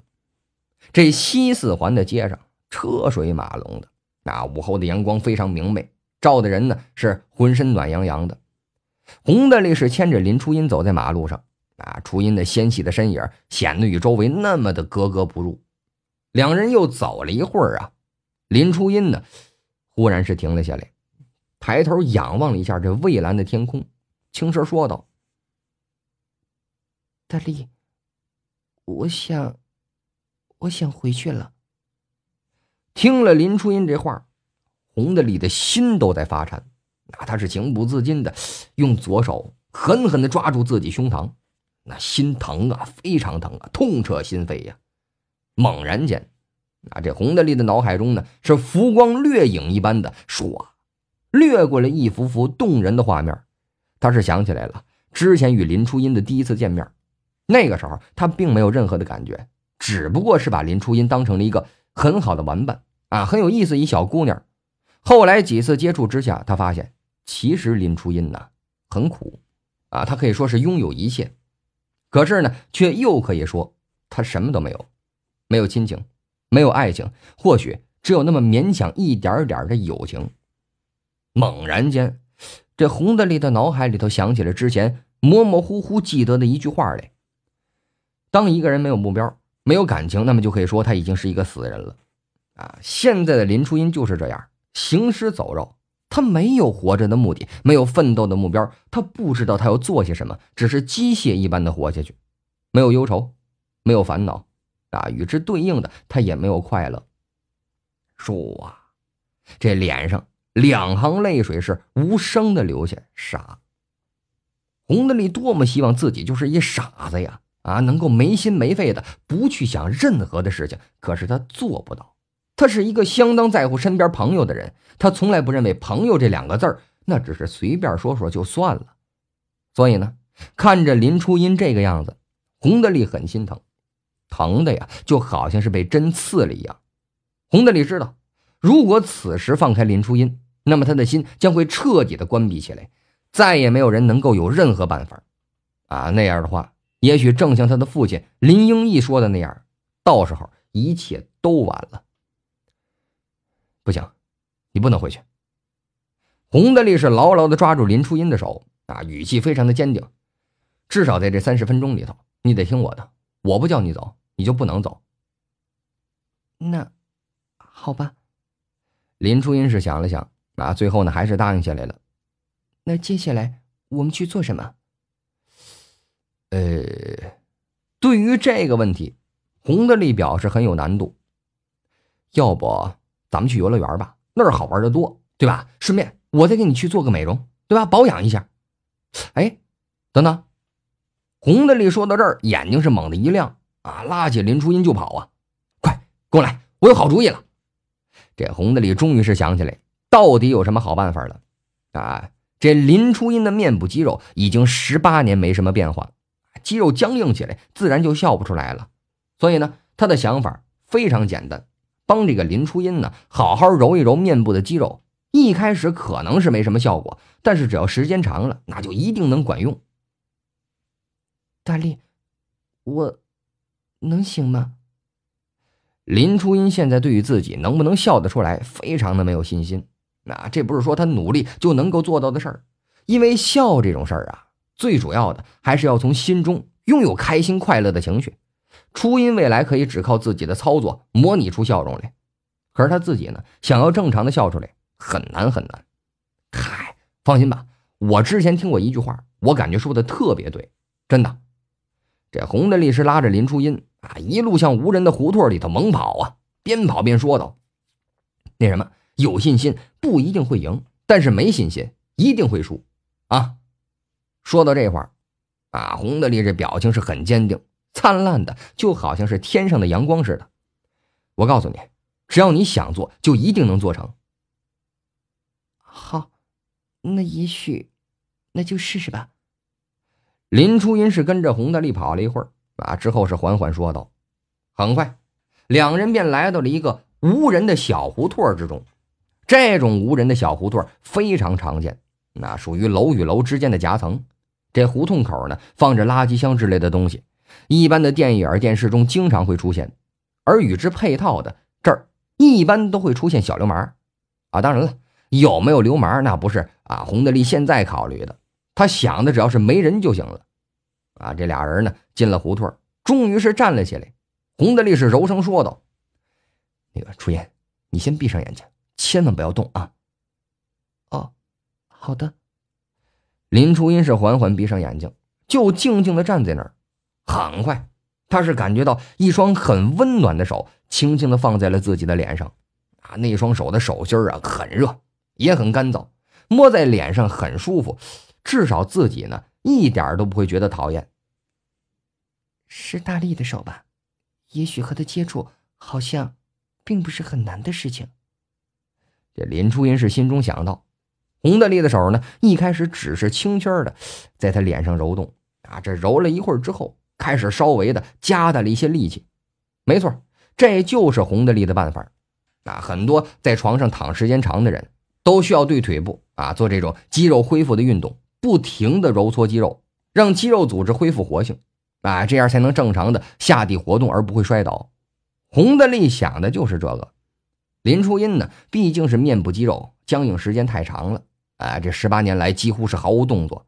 如果是不将他的面部肌肉活动开，想要让他把自己露出笑容，无异于是天方夜谭呢。毫不夸张的说，现在林初音想笑都没那个力气。洪德利这一揉，就足足的揉了十来分钟。那他这动作是尽量放得很轻。站在那儿的林初音没有任何不舒服的感觉。哎，感觉怎么样？好点了吗？这又揉了一会儿啊，洪德利是收回手，笑呵呵的说道：“那个，我这好了，你可以睁开眼睛看了，看看现在脸上舒服点没？”嗯，林初音是睁开了眼睛啊，伸出双手呢，在这脸上又轻轻的揉了揉，之后缓缓点头说道：“好像是好了一点。”这个时候最关键的时候啊，这是最关键的时候。绝对不能再让他试着去笑，因为那样很容易就摧毁他的信心啊！这个时候呢，最必要要将他的注意力吸引到别的地方上面去。等他面部肌肉真的活动开之后，那时候啊，再试着让他去笑啊，这才会起到事半功倍的效果。洪德利是笑呵呵的说道：“走走走走，咱找个地方聊一会儿去。你一直都没告诉我你有什么梦想呢？啊？梦想。”我没有梦想。林初音是摇摇头，傻瓜，没梦想怎么能行呢？只要是人，总该是有个梦想的。洪德利呀，是拉起他的手说道：“可是我没有，我不知道我想要什么，也不知道奋斗的目标是什么。我唯一算是我喜欢做的事，就只有研究那些装置了吧。”林初音是缓缓说道：“嗨，那也行啊，对吧？”找了一家最近的咖啡厅，啊，洪德利是带头往里头走，走，咱坐会儿去。啊，这进门找了一张靠窗的桌子坐下，洪德利是笑道：“哎，初言，要不你想想看，看看有什么梦想是你现在想要做到的？”嗯，没有，我不知道我想要什么。林初音是仔细想了想，啊，摇头说道：“这倒确实，林初音呢，好像是什么都不缺。”嗯，那换个办法，你会什么？洪德利是小声问道。啊，林初音是说道：“我会研究军火科技，改造一些呃器械之类的，电脑也可以。”正这会儿呢，咖啡厅的侍者呀，端着盘子走上来：“你好，两位的咖啡，两位请慢用。”啊，好好好，知知道知道。打发了这个服务员啊，洪德利是摸了摸下巴：“哎，那你想不想？”当世界第一的科学家呀，这个梦想很带感呐，有没有？不想，却不想。林初音是直接就摇了摇头，那些对我来说毫无意义。哎，这洪德利明显是被噎了一下啊，之后又问道：“哎，那你有什么愿望没有？”愿望，愿望和梦想有什么区别吗？这林初音是歪着头问道。那洪德利是一本正经的点头啊，当然了，梦想是努力奋斗的方向，这愿望呢，哎，则是希望自己可以有什么不劳而获的东西。简单来说，愿望就是天上掉馅饼，不用你拼命就能获得的欲望。哎，咱打个比方吧，我的愿望就是希望能够成为宇宙第一的败家子儿，也就是说，我不用去努力，只希望能够忽然有一天就突然变成了宇宙第一的败家子儿了啊，差不多就这意思吧，懂吧？这梦想和愿望啊，这俩词儿平时经常说，不过真的想要解释起来，洪德利却发现不知道该怎么说了。哦，这样啊。林初音这一次啊，是仔细的想了想，最后呢，终于是说出了他的愿望。我，我想要微笑，这个可以实现吗？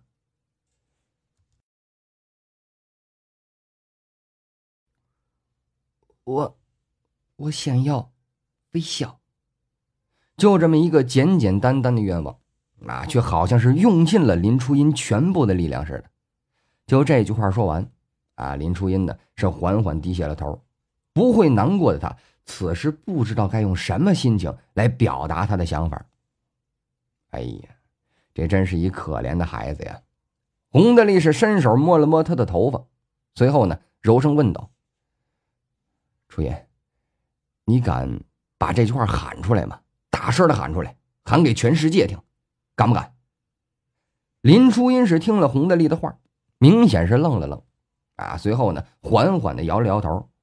对于这件事情啊，他实在是缺少勇气，啊，打从懂事的时候起，他就从来没笑过，没开心的感觉，也没失落的感觉，他就像是一机器人似的，每天准时吃饭。准时睡觉，准时研究他的科技。刚才说出“我想要微笑”这五个字来，就已经是尽他最大的努力了。那但是如今呢，洪德利叫他喊出来，这怎么做到啊？朱颜，别怕啊！洪德利是继续的在一旁轻声说道：“有信心未必就能赢，但是没信心一定会输。”林初音又是仔细想了想，那终于呢，缓缓的张开嘴儿。声音轻轻的说道：“我，我想要微笑。”他这声音轻极了，完全不像是他以前的风格。那如果不仔细听，怕是一点都听不清楚。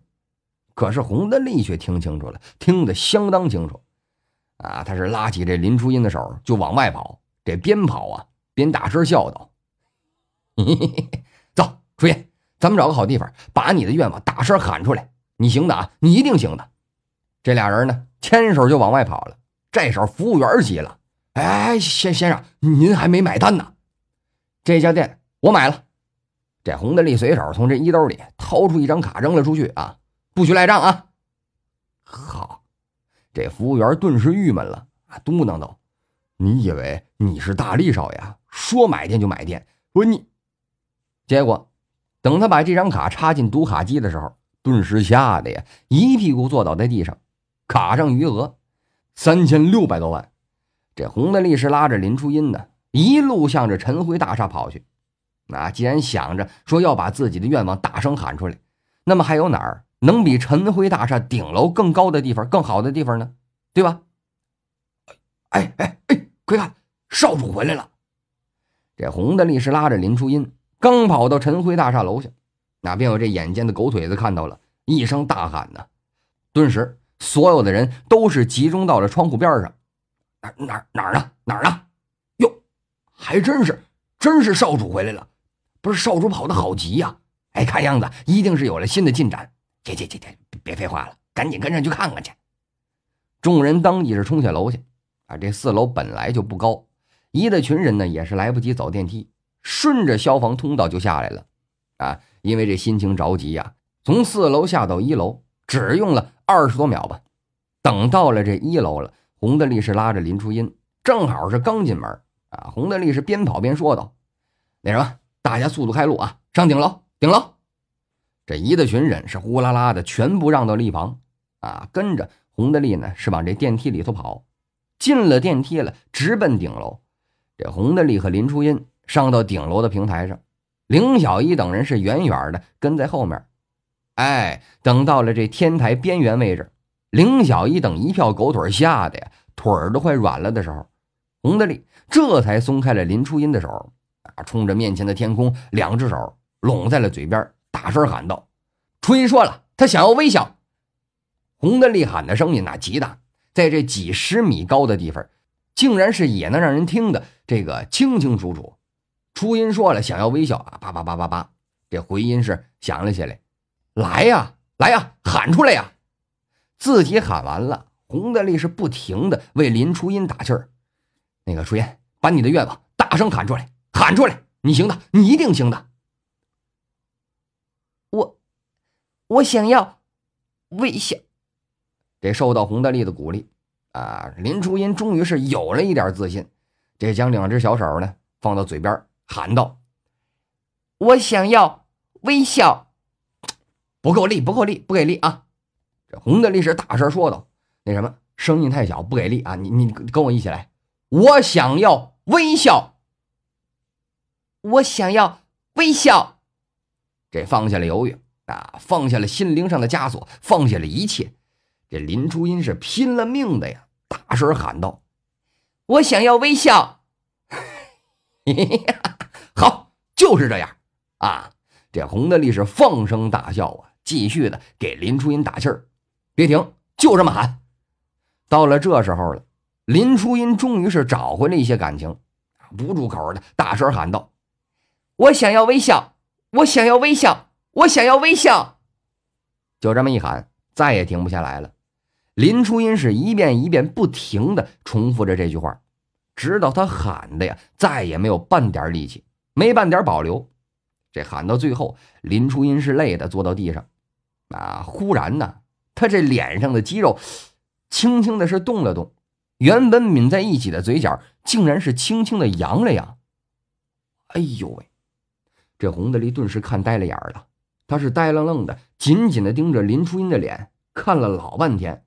最后，这才是梦呓一般的喃喃说道：“初音，你，你你你笑了，你你笑了。”他是喃喃念了几遍啊，忽然发疯一般的又跳又叫啊，玩了命一般的大声叫道：“呀，初音笑了啊，初音笑了呀，初音笑了。”他这声音大，特别大。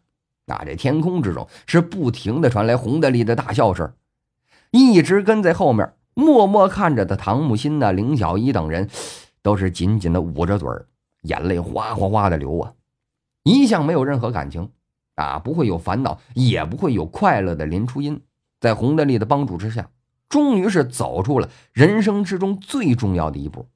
这是他的一小步，对洪德利等人来说，却是生命中的一大步。奇迹，这是一个奇迹。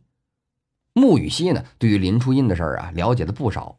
看到这个情景，边流泪边是喃喃说道：“大力少爷的力量，连天怕是都感动了吧？”这凯瑟琳那是看着洪德利，首次是脸色羞红。那不是说男女之间产生爱意的脸红啊，而是对自己如今做的事儿，他感到羞愧了。洪德利这么一个。至真、至纯、至善的一个人，他都要来监视。那这个时候啊，心中的负罪感是越来越大。这也许说不准到了什么时候，他心中的那个种族国家的界限也会跟林初音一样轰然崩塌。这微笑来得很快啊，去的呢也很快。这不大一会儿，林初音是看向洪德利的脸，这再次变回了没有任何表情的模样。可是他的眼角呢，却有两行清泪。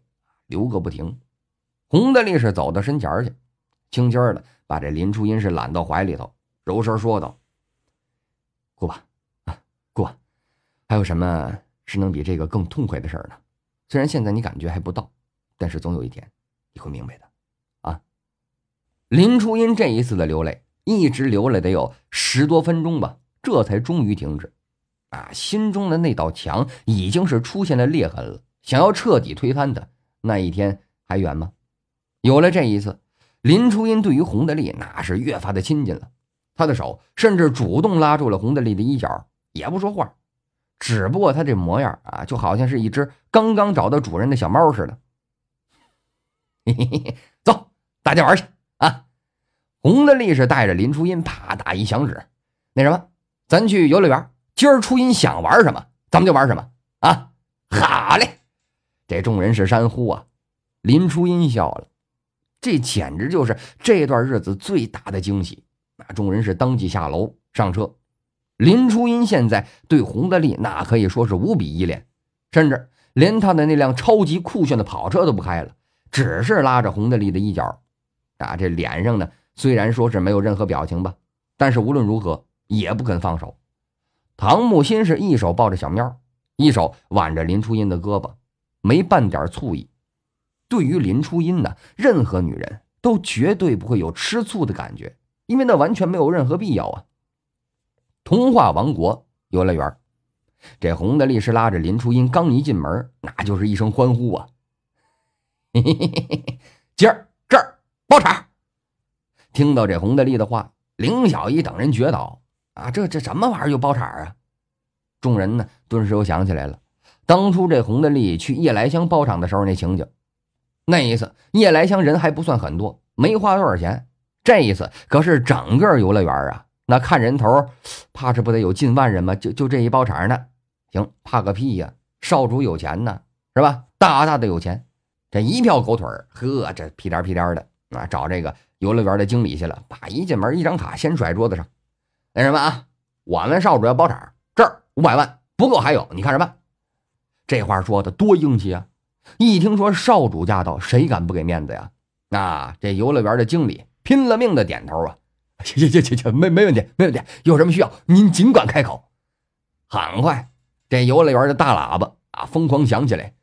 那个，今天游乐园已经被少主包场了，全场都免费，各位玩的游客们。想玩什么尽管玩，你们不会吃亏，也不会上当。童话王国游乐园人品保证，信誉可靠，你买不了吃亏，买不了上当。这，反正这话是刚一响起，啊，游乐园里面的众游客先是一愣，紧接着啊，就是漫天的欢呼声。少主驾到，万岁！别别别闹！少主万岁！少主万岁！洪德利万岁！大力出奇迹！没想到我居然能赶上少主包场，有生之年呢！嗯嗯，那少主包场还等什么？绝对没有问题。妈妈，我要玩飞空艇。行，今天少主包场，你想玩什么都行啊！赶紧玩。这红的力士拉了林初音，后面呢跟着唐木心众人一路往里头走。啊，这路上的人呢是看到了，纷纷让路打招呼致敬。红的力士哈哈一笑。嘿 嘿嘿，注意，来吧，今儿咱们就玩个痛快啊！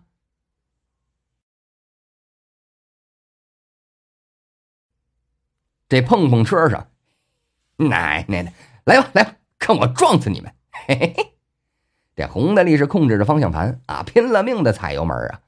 这整个碰碰车车棚子外面堪称是人山人海啊！所有人呢都在大笑着看着洪德利带着林初音在那撞人。当然了。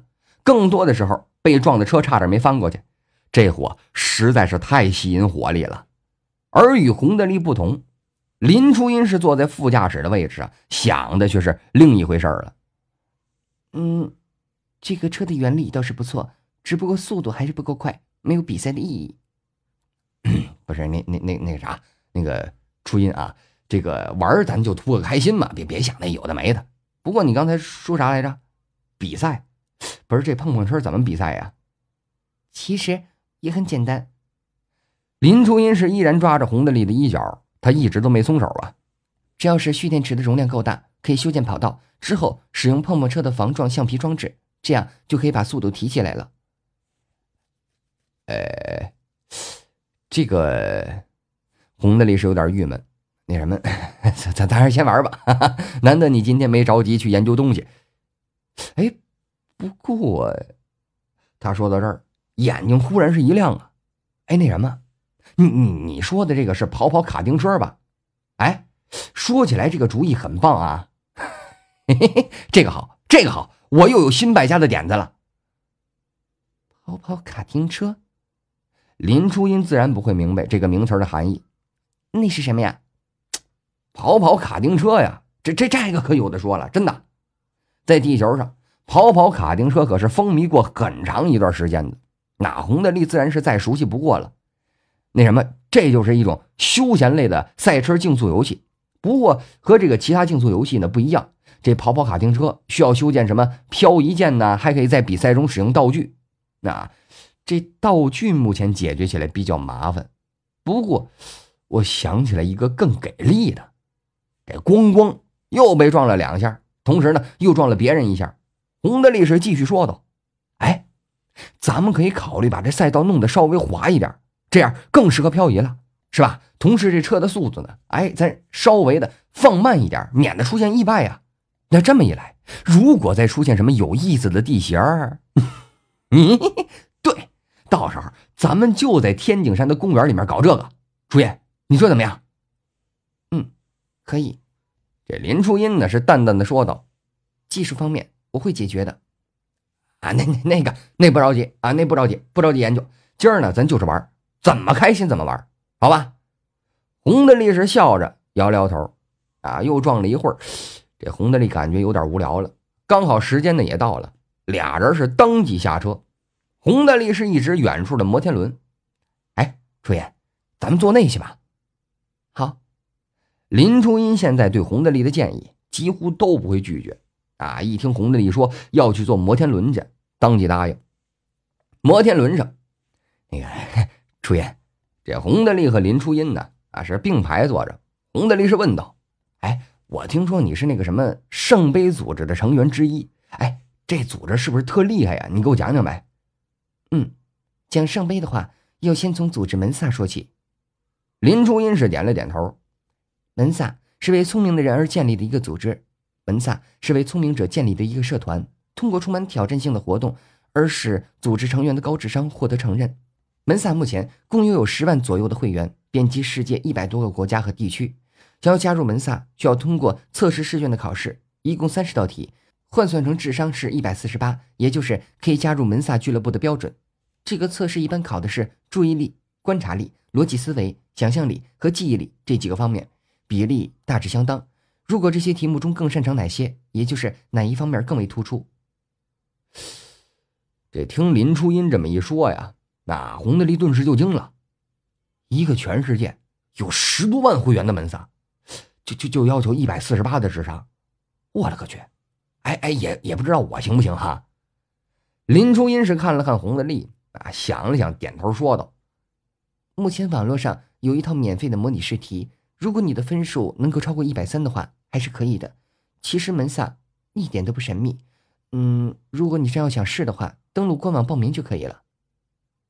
这这这个，这个还还是算了吧。我一直不认为我的智商有多高。这洪德利是赶紧的撇开了话题。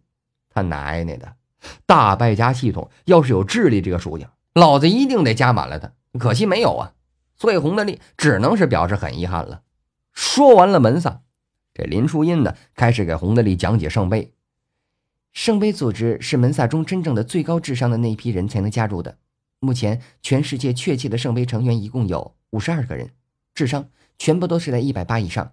我在这里面属于前列，上面还有比我更强的人。我去，还有比林初音更强的，那不知道那得什么样啊？毁灭世界呢？等着。那个，呃，初音呐。你看啊，那个啥，这个圣杯成员擅长的不会全部都是科技啊或者军火什么的吧？这问题太重要了。这要是五十二个战争狂人啊，说他们自己研究出原子弹什么的，那洪德利一点都不会吃惊。实际上，只要是给林初音足够的原料，初音估计也能鼓捣出这个原子弹来。不会的，林初音是缓缓的说道：“这圣杯成员里面的人各种各样都有，每个人喜欢的都不大一样。”我是更擅长科技和军火，有的人喜欢画画，有的人喜欢研究如何恶作剧的。哦，这回洪德利明白了，为什么国家对初音这么重视。啊，圣杯成员不重要，重要的是擅长的方面。研究科技和军火的纯种科技宅啊，那换谁都得当宝贝。这些成员都不是很危险。初音接下来说的话，这才是真正的重磅炸弹。真正危险的。是一个叫做张怡的女人，她喜欢的是研究生物基因进化方面。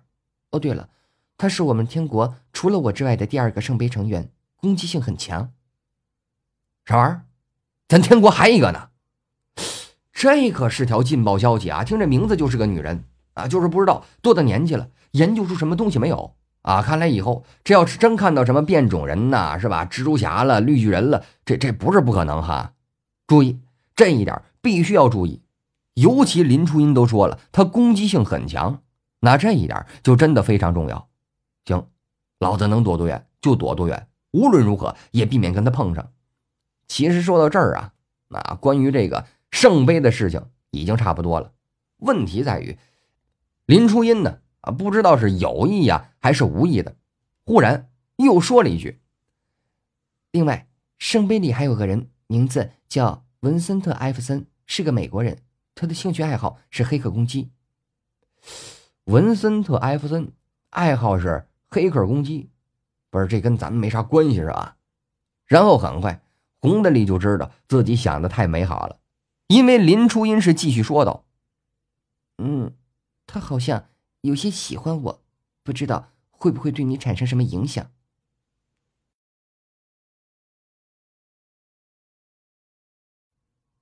哎。不是这什么情况？林初音居然会说出这种话来。不过仔细这么一想想，林初音只是没感情啊，但是不等于是傻瓜呀。他对那个文森特·艾弗森那一定是没感觉的，但是不代表他不明白文森特·艾弗森将来可能会找洪德利的麻烦这种事儿。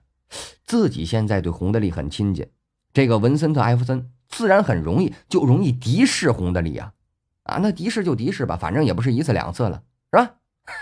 现在敌视咱的人不少，狮子多了不咬，不差他这一个。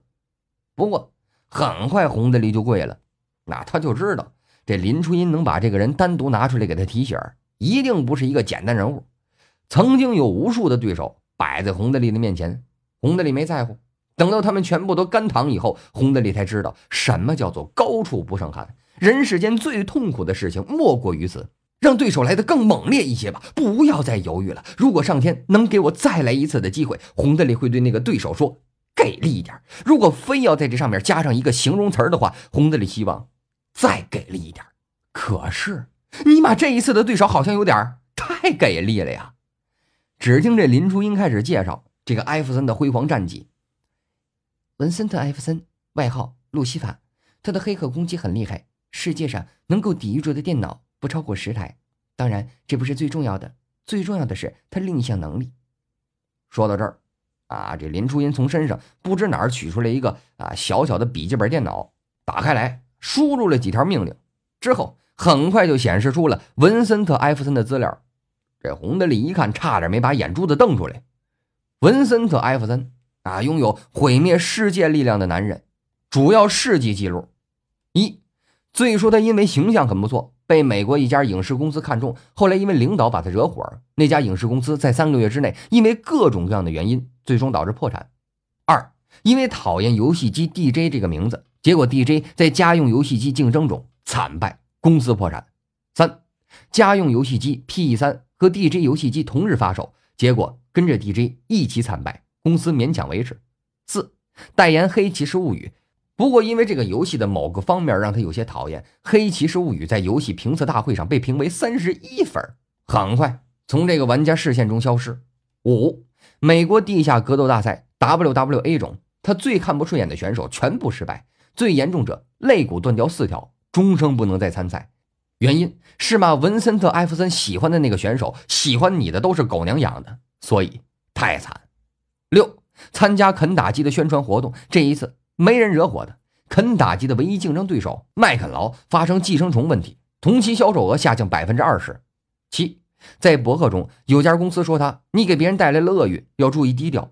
当夜，那家公司一场大火烧了无数资料，连带烧了周围三栋大楼，赔偿三千五百万美金之后倒闭。与此同时，文森特·艾弗森远在千里之外，拥有不在场证明。八，宣称自己是美国 NBA 篮球队芝加哥火箭黑。已经开始夺冠倒数场次的芝加哥火箭队之后被各种反杀，最后一胜九败扑街之后一直萎靡不振。九，他打算换一个篮球队黑一下，牧马人队很不幸成为他的目标。之后牧马人球队很不幸五十八比一百五十八惨败。十，某位女明星曾经想要挑战他的厄运权威，曾经说过我从来不相信运气，结果他出的唱片在发售前工厂忽然起火，自动消防系统喷洒了大量的水，唱片被泡。第二天，全美只卖出了五千张唱片，那位女明星也就此销声匿迹。十一，她喜欢玩电脑游戏，某家笔记本公司找她代言，然后无独有偶，另一家公司也是这么想的。这两家公司在她面前争吵，导致两家工厂同时无名大火，大量重要硬件被烧。十二，实力强劲的贝斯曼打算出版他写的自传《厄运天使》之后，贝斯曼关于此书的出版部门突遭全灭式的重组。十三。世界杂志二零一零年第九期专门撰文驳斥了厄运天使的迷信观念。十月，世界杂志停刊，公司倒闭。十四，美国科幻博览二零一零年十二期刊登文森特·艾弗森访谈，最后留下帅照一张。美国科幻博览在出完二零一零年十三期后，好歹还额外坚持了一期呢，啊，是吧？由于经营不善，停立。十五。二零一一年，文森特·艾弗森在微博低调发表：“如今的网络环境太差。”两个月之后，美国进入他所预言的缔造健康的互联网络、美国万岁的和谐时代。看到这儿啊，洪德利明显倒吸一口凉气儿，呵，这后脖梗子，哎呦喂，一阵的发凉啊！我的个乖乖，这也行？可是后面明显是更为惊悚恐怖了。十六，二零一二年一月二十二号，文森特·艾弗森。冲林初音表白被拒，自尊受辱，发下恐怖的大王从天而降，使愤怒之神为之复活，地震与洪水将统治世界的惊天赌咒。两个月之后，世界各地，嚯，开始大规模的地震海啸。好在他还没敢直接的进攻天国。十七，二零一二年三月，文森特·艾弗森造访科幻世界杂志社，不清楚里面具体发生了什么。不过结果是一个月之后，科幻世界停刊。公司倒闭。十八，同月，文森特·艾弗森喜欢上了科技，在微博发表：“哦耶，我发现一个小秘密。秘密指出，这南极冰雪覆盖之下可能有外星人的存在。”三天之后，南极冰雪开始大规模融化。十九，文森特·艾弗森心血来潮，借著名科学家马克·福斯发布微博：“信科学，不要迷信。”这种帖子。同年一个月之后，美国科学巨星马克·福斯。逝世，享年八十六岁。二十，美国另一位著名科学家威廉姆斯听说了马克·福斯的事儿，大为不屑，撰文在著名的科学论坛《宇宙奥秘》驳斥之，然后放在头条。然后，宇宙奥秘的服务器当掉，硬盘彻底烧毁，网站数据一个字节也没抢救出来。等到网站恢复白茫茫一片，大地真干净的时候，这科学家威廉姆斯同志亲自撰文。我再也不相信科学了。一个月之后，身患心肌梗塞，抢救无效死亡。洪德利是泪流满面的，太狠了。这还不止呢，后面的厄运看上去那更恐怖啊。二十一，文森特·艾弗森去韩国旅行，韩元兑换率下跌。二十二，在一家披萨店吃的不是很满意，那家连锁披萨店随后被查出含有三氯氰胺，披萨店公司倒闭。二十三去英国，伊丽莎白女王当年损失六十六亿英镑。二十四，奥运会时对于开场表现不佳的美国选手表示不屑，随后没有一位美国选手获得金牌。二十五，二零一二年六月十二号，有网友问他怎样去看即将举行的巨星安德森即将召开的个人演唱会仪式。文森特·艾弗森回答：“他的歌我从来不听，不合我的口味 一个月之后。巨星安德森举行了那场演唱会之后，胃癌死亡。二十六，二零一二年十一月二十四号，在美国动漫网站看《钢铁巨人》，因为某一集太过催泪，导致他就这样哭了。同年 十二月十一号，钢铁巨人作者泰勒去世了。二十七，二零一三年四月十二号，美国加州一家三星级酒店院内的一棵八百多岁的古树忽然倒下。植物学家表示，此树之前没有丝毫即将死亡的迹象出现。当天，美国三家媒体同时报道，厄运天使再次降临。文森特·艾弗森害死神树。报道提到，今年一月二十六号，文森特·艾弗森曾造访过该酒店。回到家后，这位厄运天使写了篇微博，文中提到这么一句：他表示这棵树上的虫子实在是有点多。然后，树倒了，这三家媒体也没能幸免。报刊销量一路走低，最终全部倒闭。二十八，二零一三年七月八号下午，文森特·艾弗森正在上网时忽然停电。文森特·艾弗森更新微博：“这该死的店里赔我资料。”三日后的傍晚，他所在的州的核电站一号机反应堆机房周边发生了纵摇并伴有爆炸声，目前正在确认详细情况。二十九，文森特·艾弗森因为上述事件被请进美国六角大楼，目前尚未出来。三十，啊，尚待补充。这红的里是抓狂的说道：“哎呀，我的个天哪！不是老天爷呀！啊，什么情况？这第三十条该不会是为我准备的吧？我去，这次的对手可不是一般的强啊！对于这一次的对手，洪德利表示压力山大呀。之前的对手无非就是什么天才之类的，要不或者还需要再多带上一个日本啊丰田财阀的少爷吴本光。可是这一次很明显。”这个文森特·艾弗森跟之前的对手比起来，那明显就不是一个量级上面啊！甚至连初音都说了，他是能够毁灭世界的男人，有木有？